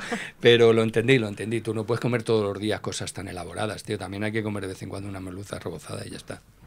Pero ¿qué- ¿de qué gente te rodeas tú? No, pero tiene- sensibilidad paladar. Pero tiene, Mira, tiene al final, razón. Pero que- al que final gente baja, y le gente lleva, baja, y gente le lleva, y le lleva, le lleva menos tiempo y así puede escribir novelas. Claro, claro, claro. No, pero es verdad. Pues al final, ¿qué pasa? Pues que dices, voy a bajar un poco a la calle para ver cómo vive el, ¿Cómo el viven los proletariado, cómo vive la gente Y- normal. Y, al les hacen final- merluza rebozada. Y, y otra cosa, Tienes, es por verdad. la- por la verdad Tienes es- que demostrar de vez en cuando que no eres un dios. Claro, no, no, tampoco se trata de ser un dios. Yo so- soy una persona humilde, Fernando.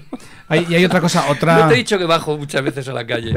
Otra afición suya es, porque lo, lo, hice, lo dijiste el otro día cuando te llamamos, que ibas a estar haciendo submarinismo Ah, submarinismo, sí, sí, Oye, no, esto no. de, de- de estar debajo del mar es la bomba. Porque a mí, que yo no. Como que se lo nunca digan los del batescafo, Sí, este. bueno, pero es, es de puta madre, ¿no? El que estar Que- ahí, no. el, silencio, debajo, no, hombre, sí. no. El silencio ese que tienes ahí. ese- Es brutal. Mira, es primero es la sensación más parecida que hay a volar. Volar.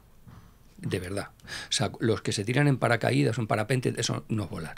O sea, volar es como tú controlas, vas despacito, pues, como si fueras un águila.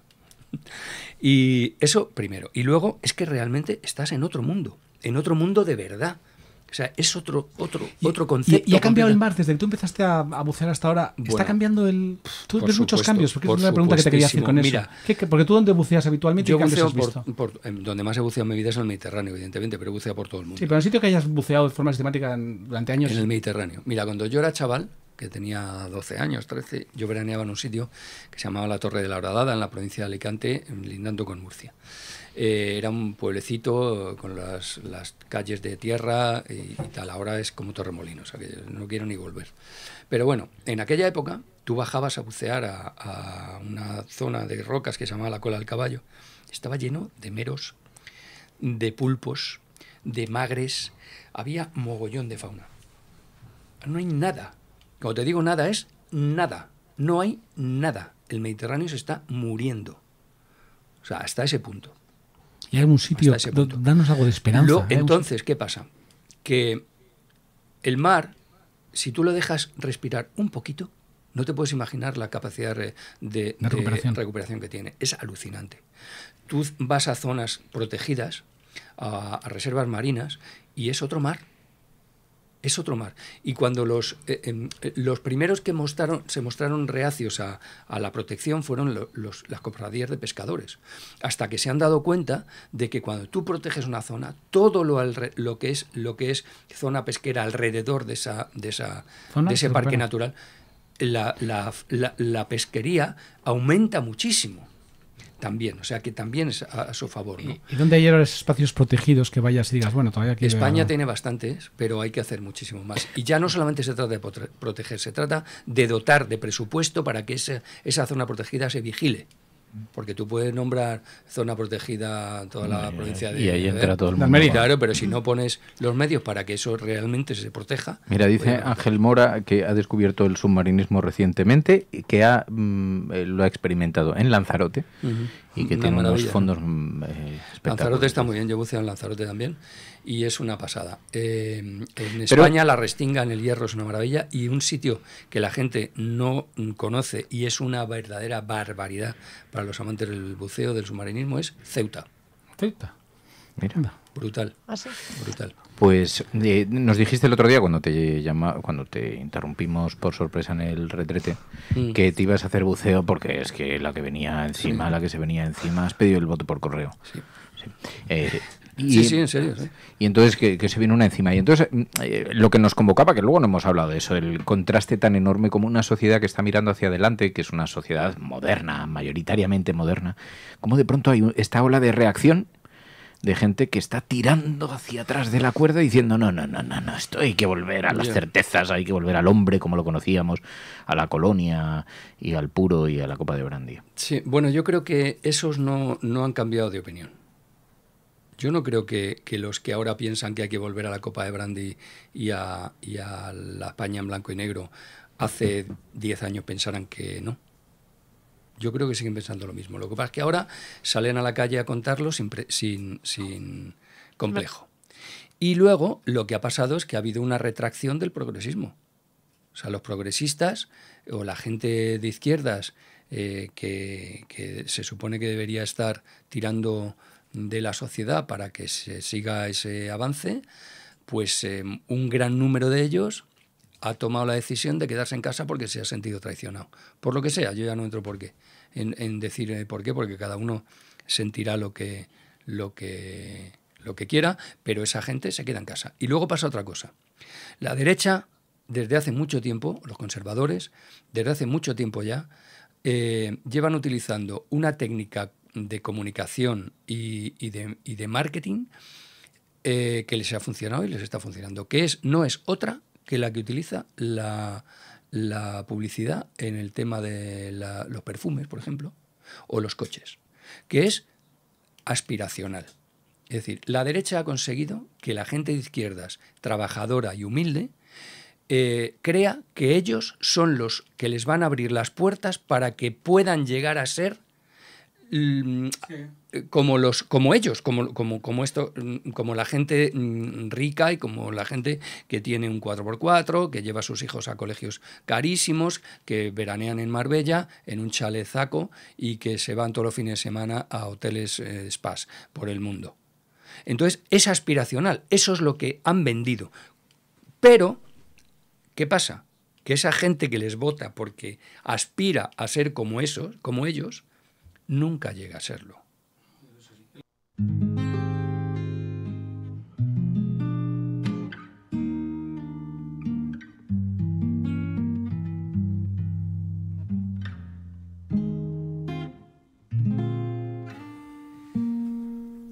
Decía Pepe, Trump ha hecho lo, lo mismo. Lo mismo. Sí, es- por eso personas, las clases trabajadoras en Estados Unidos han votado. Esto nos lo contaba.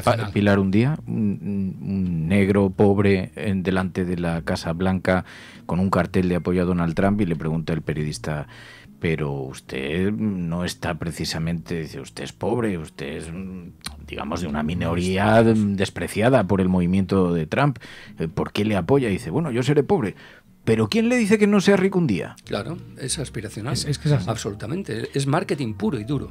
Ayudado además por un momento social en el que la tecnología ayuda a que esos mensajes simplistas y esa, esa eh, bueno, ese propósito llegue muy rápidamente y no te dé tiempo a analizar, a pensar un poquito, a rascar. Claro, la, la tecnología está ayudando a eso. Eh, va muy unido con mi libro. Mensajes simples. Mensajes simples. Las apariciones marianas, todos los mensajes que da la Virgen son simples.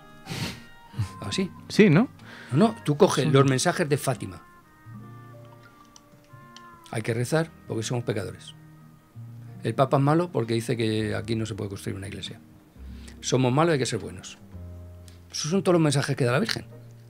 O sea, no dice, para acabar con el hambre en el mundo lo que hay que hacer es esto, esto, esto. No, no, dice, hay que rezar. Eh, El acuerdo de gobierno de. Mensajes simples. El acuerdo de gobierno de Vox y PP en Valencia, con el comunicado de prensa que salió. Era bastante mm, simple. Más complicado. Menos- más simple no podía ser. De Oye, hecho, pero tú sí. analiza, analiza esta Libertad para ser libres. Acá, analiza, analiza las últimas campañas. O sea, es sofisticado. De tan hizo- simple, es qué- sofisticado. ¿Qué hizo Isabel Díaz Ayuso en España, en Madrid? Sí. Libertad. Perdón. Perdón. Sin definirla. Sí. Libertad. ¿Qué? Perdón. Pero yo siempre Pero he cala. defendido, Juan Luis, que porque además eh, co- conozco muy bien el perfil porque he convivido muchos años con ese perfil.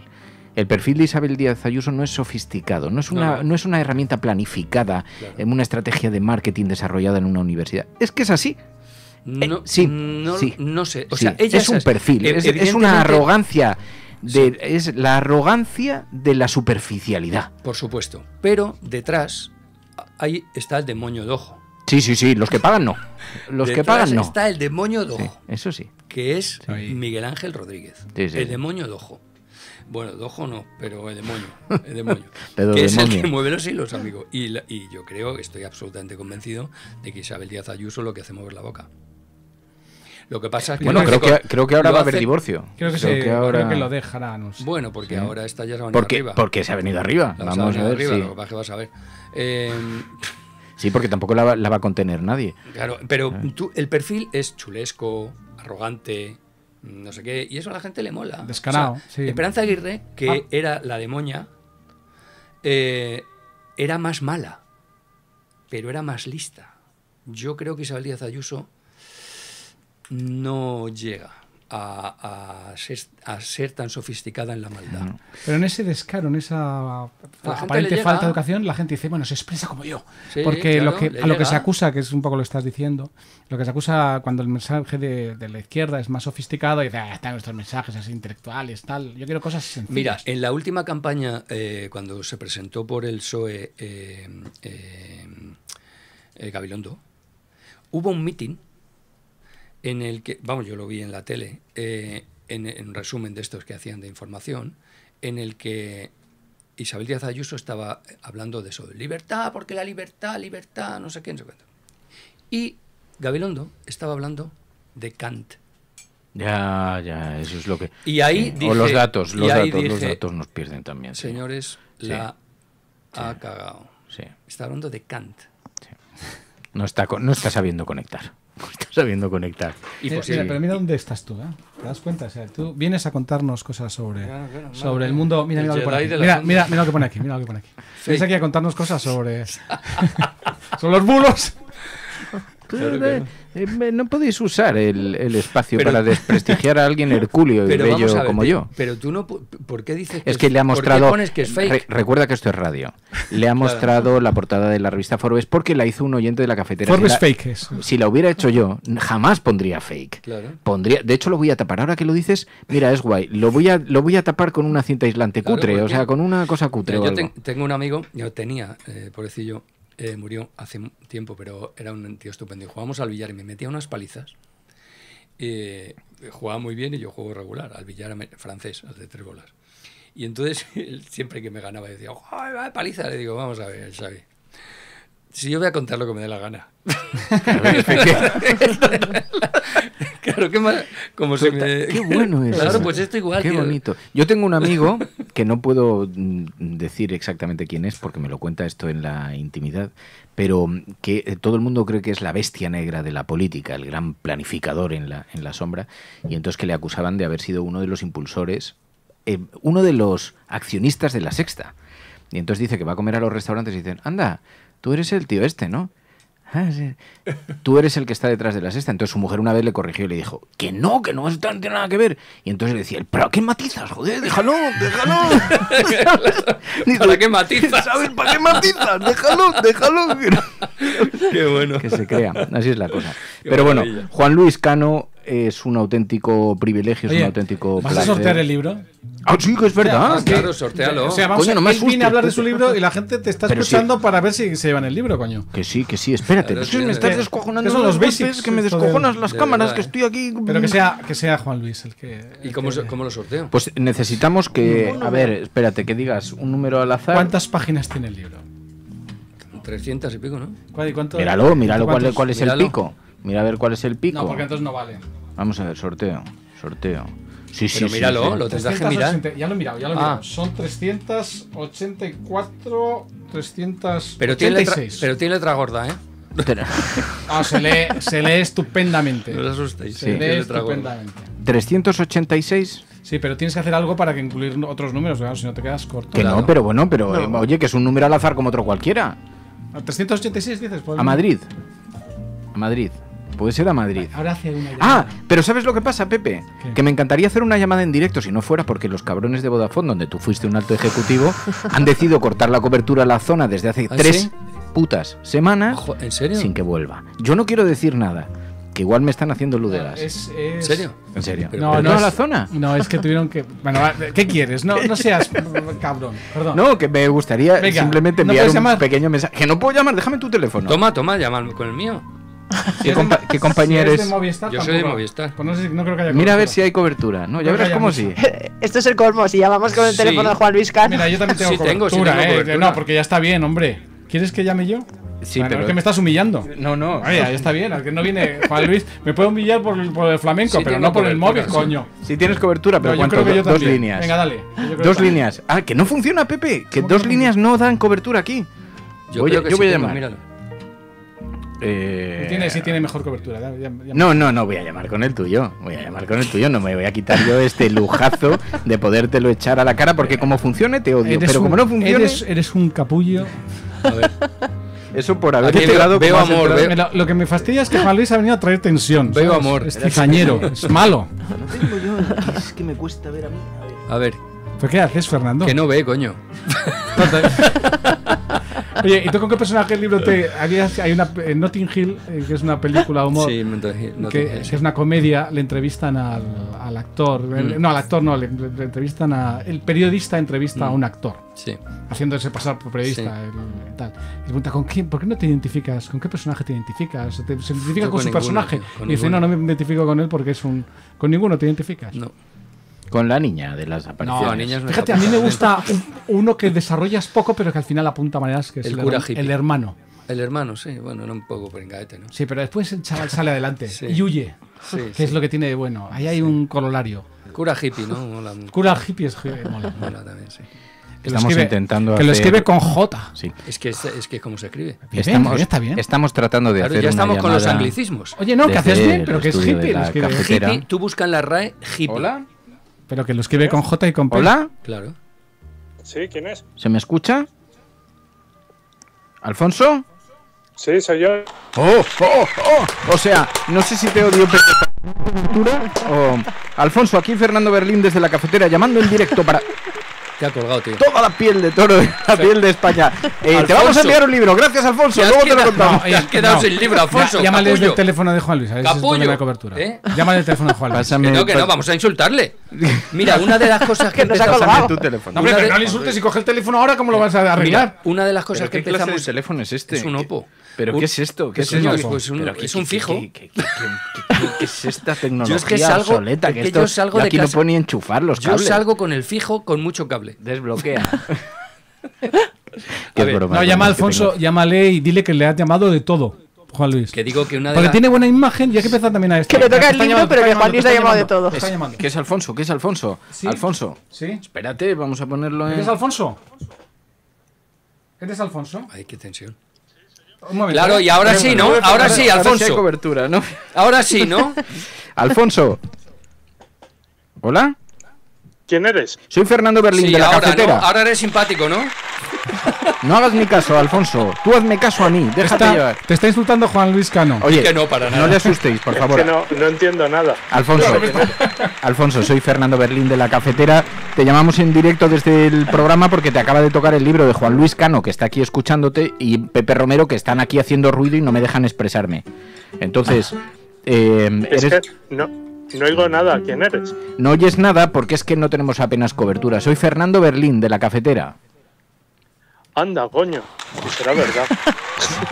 Claro, claro que es verdad, claro que es verdad. Es que tenemos mala Claro, cobertura por una oye, compañía, por una operadora. hacéis la llamada, joder.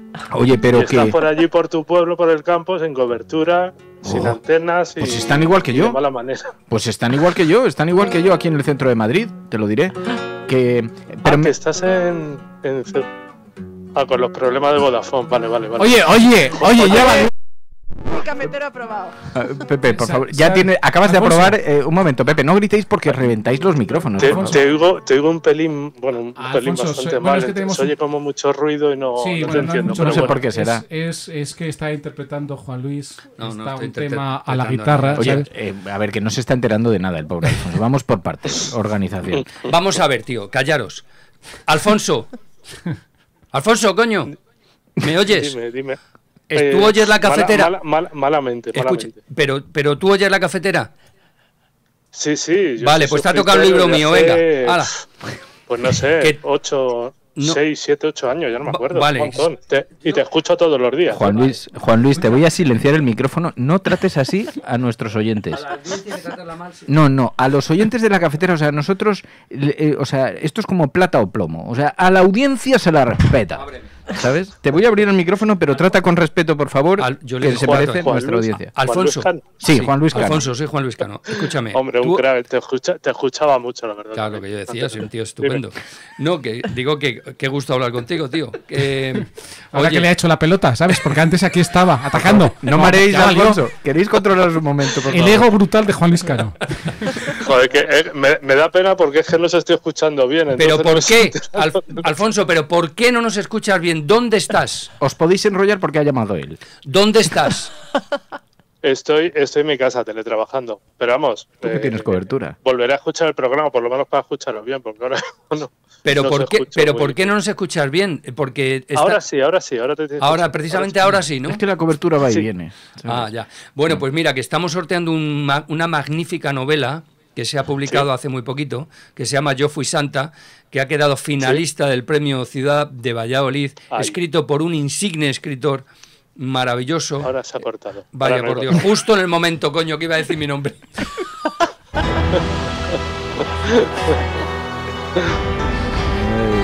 Dicen que te tienes que venir una vez a la semana o como mínimo cada 15 días. Eso está hecho. Sí. Alfonso. Gratis, gratis. Dime, dime. también. Que te ha tocado el libro, tío, que te lo vamos a mandar, ¿vale? Vale, perfecto. Eh, no sé de quién es el libro, no sé si. Mío, mío, mío, mío. Ah, lo he escrito, ah, yo, pedazo de novela. Está no es de humor. No es de humor, pero te va a gustar mucho. Ah, eh, vale, vale. Se llama Yo. Fui Santa. Alfonso, que te queremos dar las gracias por ser nuestro suscriptor. No digas ahora ya, no lo soy desde hace tiempo, porque no he revisado si estás al tanto de las cuotas, pero eh, te agradecemos. Qué pena que no te esté escuchando, entiendo que me estás diciendo. Oh, Alfonso, me estás dando las gracias por ser suscriptor o algo dice, así, eh, pero claro, vamos, dice luego, Pepe, luego, cuando escucho el programa, que lo escucho siempre no en directo, lo suelo escuchar difícil. siempre y, otra. Claro, dice Pepe, la... corta, corta ya, porque no quiere que se vean las deficiencias de, de, de las comunicaciones. Sigue hablando. ¿Sabes? Eh, Alfonso Alfonso, yo tú en mi caso, asco. te ha tocado un libro, te ha tocado un libro y te, y te damos las gracias por todo el apoyo al programa, por Ay, todo el apoyo qué, a la cafetera. Qué pena, que no digo nada. Pero bueno, que muy agradecido de llamarte, que ha sido un sorpresón y que... Alfonso Nada, que muchas gracias. Eh, Alfonso nos está dando la mañana. Que sois unos, que sois unos cracks. Sí, sí. Gracias. Alfonso. Alfonso, nos está dando la mañana. Y yo me entretenéis todas las mañanas a mí y a mucha gente. Él sigue así sus cosas. Seguir, así. Me gusta a mí estos oyentes. Alfonso, gracias. Un abrazo fuerte. Nada, nada, un abrazo a vosotros y seguir así. Adiós, adiós. Chao, adiós, chao. Alfonso, un abrazo.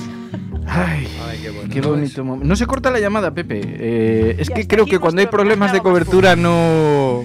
¿sabes? Y hasta aquí la promoción de esa compañía que podría financiar las próximas dos temporadas del programa. Después. O no. o no, porque al ritmo que van debe ser que las cosas, no sé. Bueno, que es una broma, perdón, no quiero molestar. Eh, que lo digo Pepe, me ensaño porque estás aquí porque llevo tres semanas sin cobertura solamente.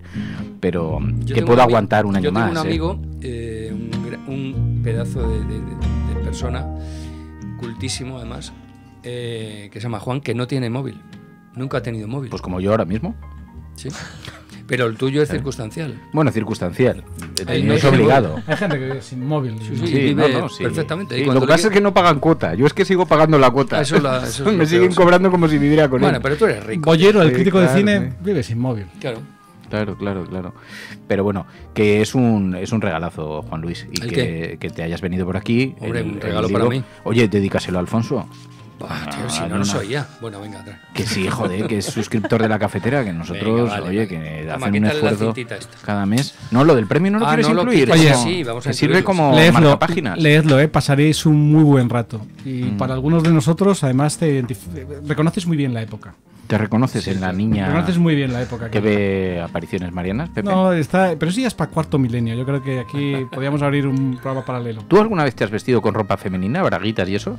Yo no, pero vamos, tampoco bueno, igual es otro tema. Quiero un bolígrafo, quiero un bolígrafo. Ah, ¿Tienes un bolígrafo? Sí, tengo? Hombre, tengo material de papelería. Eh, aquí tengo un cajón con un montón de cosas. Ah, pues mira, me acabas de acordar de recordar que tengo que comprar cartulina. Voy a sacar un par de ellos porque cartulinas también tengo. También post si quieres. Fernando, menudo lío tienes todo hoy aquí.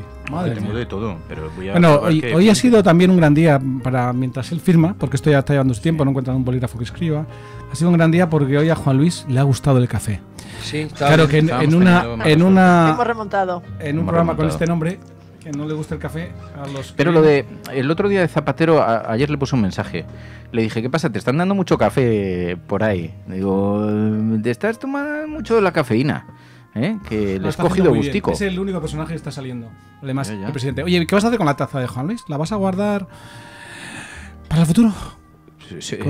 Con, sus, es que ya no guardo. Con sus restos. Solamente hemos dejado el ah, de. Yolanda Díaz, porque las cinco tazas que teníamos nos habían dejado sin cubertería en casa.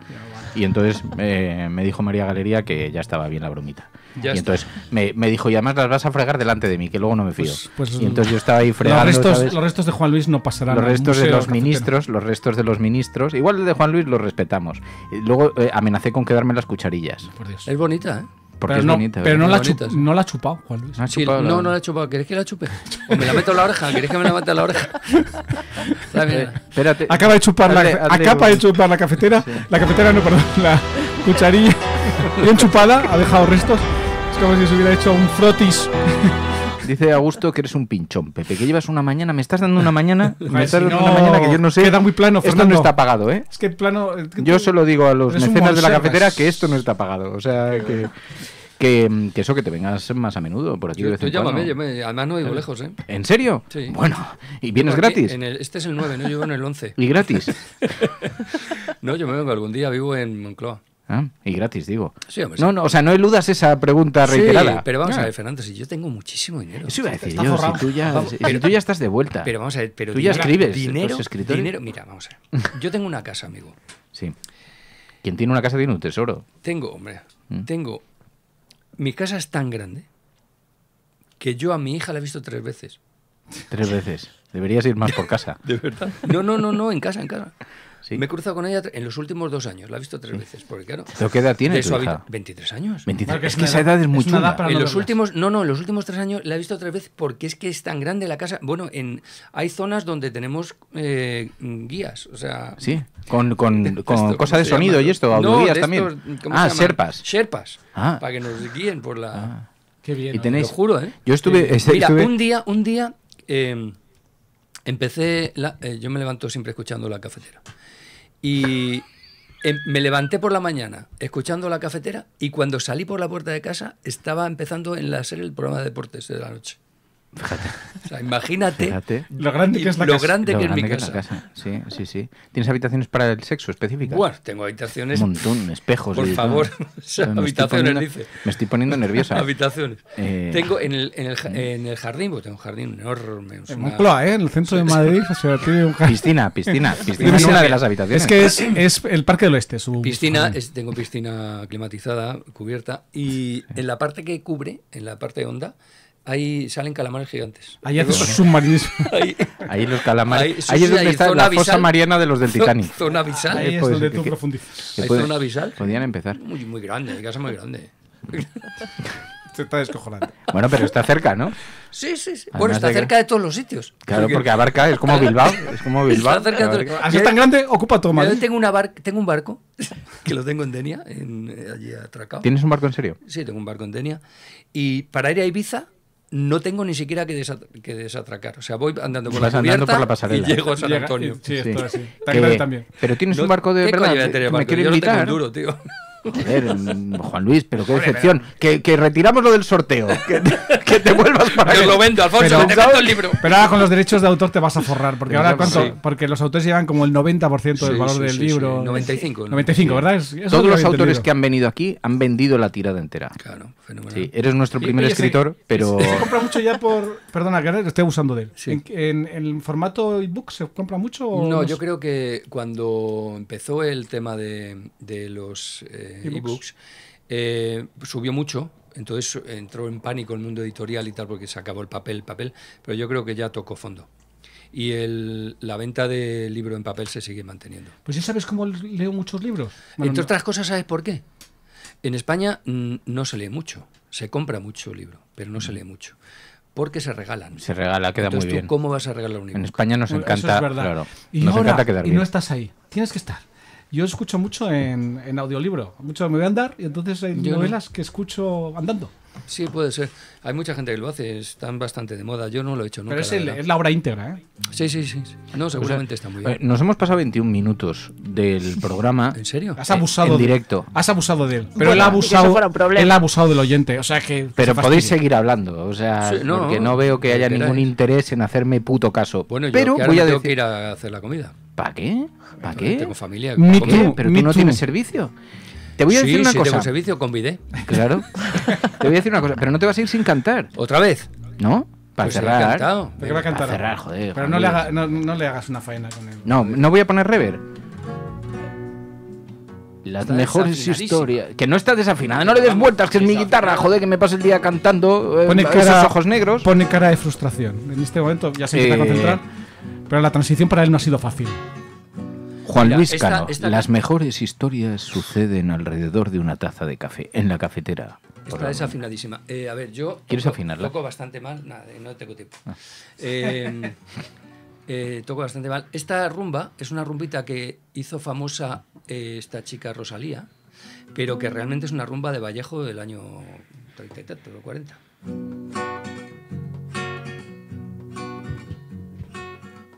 Toco muy mal, ¿eh? Quítate de mi presencia que me estás martirizando. Quítate de mi presencia que me estás martirizando y a la memoria me trae cosa que estoy olvidando y a la memoria me trae cosa que estaba olvidando. Ponme la mano aquí, Catalina mía, ponme la mano aquí. Una china que tenía se fue a Alemania y no volvió. Y una china que tenía se fue a Alemania y no volvió. Y a Alemania me voy y no a divertirme y a tomar un veneno que quiero morirme y ponme la mano aquí, Catalina mía, ponme la mano aquí, ponme la mano aquí que la tiene fría, mira que me voy a morir, mira que me voy a morir, mira que me voy a morir. Oh, Juan Luis Cano, escritor, polifacético, poeta, humorista, periodista. Futbolista. Futbolista y cocinero. Es de, es de la Leti Madrid. Y cafetero. Sí, Eh. Juan Luis, gracias. Muchas gracias, Fernando. Que sí, me vengo otro día, me llamas y me vengo. Sí, que yo Eh, te- Tampoco abuses, ¿eh? Tampoco. Hombre, un poquito. Pero vamos, cada Un poquito dos, tonto. como mucho cada Yo dos, te digo, ponme días. aquí la mano aquí, Catalina. Catalina, Pues, ponme- ponme eh, la mano eh, aquí. que la mano van al pan. Jugador de Oca profesional, dice. Totalmente. Claro, y jugador de Oca. Buscarlo en, en Google. Sí, de sí. Juan Luis Cano Karpov. Vas. Vas a flipar. Dice, antes de que os marchéis, gracias por el programa de hoy, gracias por la conversación, ole y ole. ¿Cómo se llama la canción? Catalina mía, José Luis, qué buen tipo. Dice, yo lo Se comprobé. llama Juan Luis. Juan. Luis, sí, me llama José Luis mucho. Dice, pero- lo comprobé en la peluquería de Valentín y Jesús. Qué buen rato pasamos. Claro. Ahí, sí. Era, era el, eh, Valentín era el, el peluquero del Hotel Rex, aquí en- que era el periodista, el, el- el peluquero de muchos periodistas, iba mucho, mucho periodista por allí a cortarse el pelo y ya pasábamos a saludar y a hacer tertulia. Y murió Valentín, cerró el Hotel Rex y ahora Jesús, que su, era su ayudante, el que, el que eh, estaba con él en la peluquería, tiene ahora una peluquería en la Plaza de los Mostenses y seguimos yendo allí a cortarnos el pelo de vez en cuando. Ah, tío. Eh, oye, dicen, la, que, dicen que ha faltado rever. La, la partida, vamos a ver, la partida de Juan Luis Cano y Cabrón. Karpov es lo más visto en YouTube pues, y, es, y la podéis, podéis acceder para que la veáis, ¿vale? Entonces, ¿cómo- hacerle caso. ¿Cómo lo más visto? ¿Lo más visto de qué? De la historia. Ah. No, oye, como tú dices que cuenta lo que te da la gana, yo también. Claro lo más sí. visto Pero ha a que- reventado a que YouTube. existe, a que existe, es así. existe, existe, y, es, Claro, y claro. es, es con vídeo, ¿eh? No penséis que Sí, sí, está en vídeo, está en vídeo. Silvis dice un que, que José- eh, Juan Luis, un saludo. José Luis, un saludo desde, desde Mallorca. Eh, por Se favor. te quiere mucho, te sigo mucho, José Antonio. Llega, llega un mensaje de un oyente de la cafetera, con esto yo creo que podemos acabar, que dice, es Hav Balfrey, que dice, por favor, dile a Radio Cable, o sea, a ti, Mm. que por fin buena música con Juan Luis y no esos tostones de autor con lo que nos intenta regalar al piano. No, Eso- si es que, que yo canto, yo, te- yo he hecho una canción. ¿Ah, sí? ¿Quieres escuchar? No. Eh, ¿Por qué no Que pone te- te iba a flamenco? gustar, ¿eh? ¿En serio? Que no pongo flamenco porque no- es que no tenemos derechos de autor. O Ah. sea, entonces no ponemos, solo ponemos música Creative Commons. Bueno, pero ahí hay ¿Sabes? guitarra. eh, No, pero- hay- Eh, de cosas de Creative flamenco. Commons, flamenco Creative Commons. Pero no Sí, se sí, refiere al... guitarra. no, el, el- el oyente no sé, el su No, amigo Hav. el oyente no se, refiere a eso. a, no, se No, refiere a tus mi canción. momentos que musicales. Claro, porque yo inventé una canción de cantautor. Ay, ¿qué de llegaba a la mañana y levantaba la persiana Ah, y las chicas de la playa y café con leche y un poco de cariño. Qué bonito. Sí, tiene momentos, tiene momentos inolvidables. Qué bonito. ¿Sabes que cuando Sí, yo tenía 11 ese 12 y el años de las pezoneras. me regaló mi padre, o sea, me compré una guitarra en Ceuta y estábamos y me bajaba la guitarra, yo no sabía tocar, me bajaba la guitarra a la playa para ligar. Claro, claro, es que soy lo del casco. Siempre, eso ha a mí hecho siempre me frustró, generación. porque esto es verdad que los que tocan la guitarra Sí, pero yo siempre no se sabía a la tocar. chica. Claro, que eso es lo que le decía yo a mi hijo, le decía, eh, digo, tienes que aprender a tocar la guitarra. Y dice, no, yo quiero el drill. Digo, que no, hijo mío, que las fiestas, tú vas con la guitarra, Totalmente. la chaval, esto es un regalo que te hago yo a ti. Totalmente. Lo del drill es un regalo que te haces tú a ti mismo. Digo, yo uno que te haga yo, que te va a arreglar la vida de los... La guitarra, el piano de los pobres, como dice Gerardo Núñez, sirve para hacer amistades. También te digo que eso era antes. Bueno, no creo, ¿eh? No, Sí. yo creo que Ahora- ahora, ahora- esas cosas Sí, pueden esto tener Pedro impacto. Ballín, Pedro Ballín tuvo un gesto Esto- muy, muy maledicente, Pedro. Ahí estuviste ahí muy afinado, pero muy villano. Eh, vi una foto de Pablo Iglesias tocando la guitarra con Irene Montero. Sí, y entonces, que- que- Pedro está muy crítico con ellos, Pedro Ballín, y puso un mensaje diciendo, claro, estas cosas de las fiestas de antes, de las fiestas un poquito que es vintage, así, es así. dice, cantando las canciones revolucionarias, dice la guitarra, hay que dar paso, dice, si por lo menos hubieran estado tocando música, mm, no sé si decía, de trap o de, o de rap. eh, la, la casa Gibson en Londres ha cerrado. Claro, es que, No se venden guitarras que no se vende, es que no se vende. porque ahora es todo electrónica. Claro, claro. Esto Todas las un- canciones. Todo Bueno, es pero, un drama. Pero hay que decir que en ese comentario de Pedro Ballín hacía un guiño positivo a la pareja, porque se le había criticado por una gilipollez. Sí, sí, sí, sí. O sea, estaba No, defendiéndoles. no estaba siendo, no estaba siendo no estaba crítico. En ese caso concreto no estaba siendo sí. Sí, sí. Pero el comentario este, no, es que yo me sentí muy aludido. Y yo le puse un mensaje y le dije, oye, Ballín, deja de meterte con la guitarra y con los que somos un poquito así cantautores. ¿Sabes? Los que- cantautores son estupendos. o sea, estupendos. Yo Que- conocí una vez a uno que era buenísimo. Buenísimo, sí. sí, sí, ya murió. ya murió, ¿no? Qué nombre hay cantautores maravillosos. Juan Luis Cano, que gracias, de Gracias verdad, de corazón, cuídate mucho, un, Un abrazo beso muy fuerte. fuerte. Aquí está tu casa, ya sabes. Gracias. Ya si hubierais puesto algo para mojar en el café, ya, joder. Eso ha sido Pepe. Coño, ¿no me lo has dejado ahí? ¿Yo qué quieres que lo haga yo? Eso ha sido Pepe que no ha querido traer comida. Así. Bueno, esto es la cafetera. Gracias, Pai. Gracias. Gracias a vosotros. Si lo estás escuchando, eres la resistencia y no estás sola allí donde estés. Buenos días, buenas tardes o buenas noches, cafetera.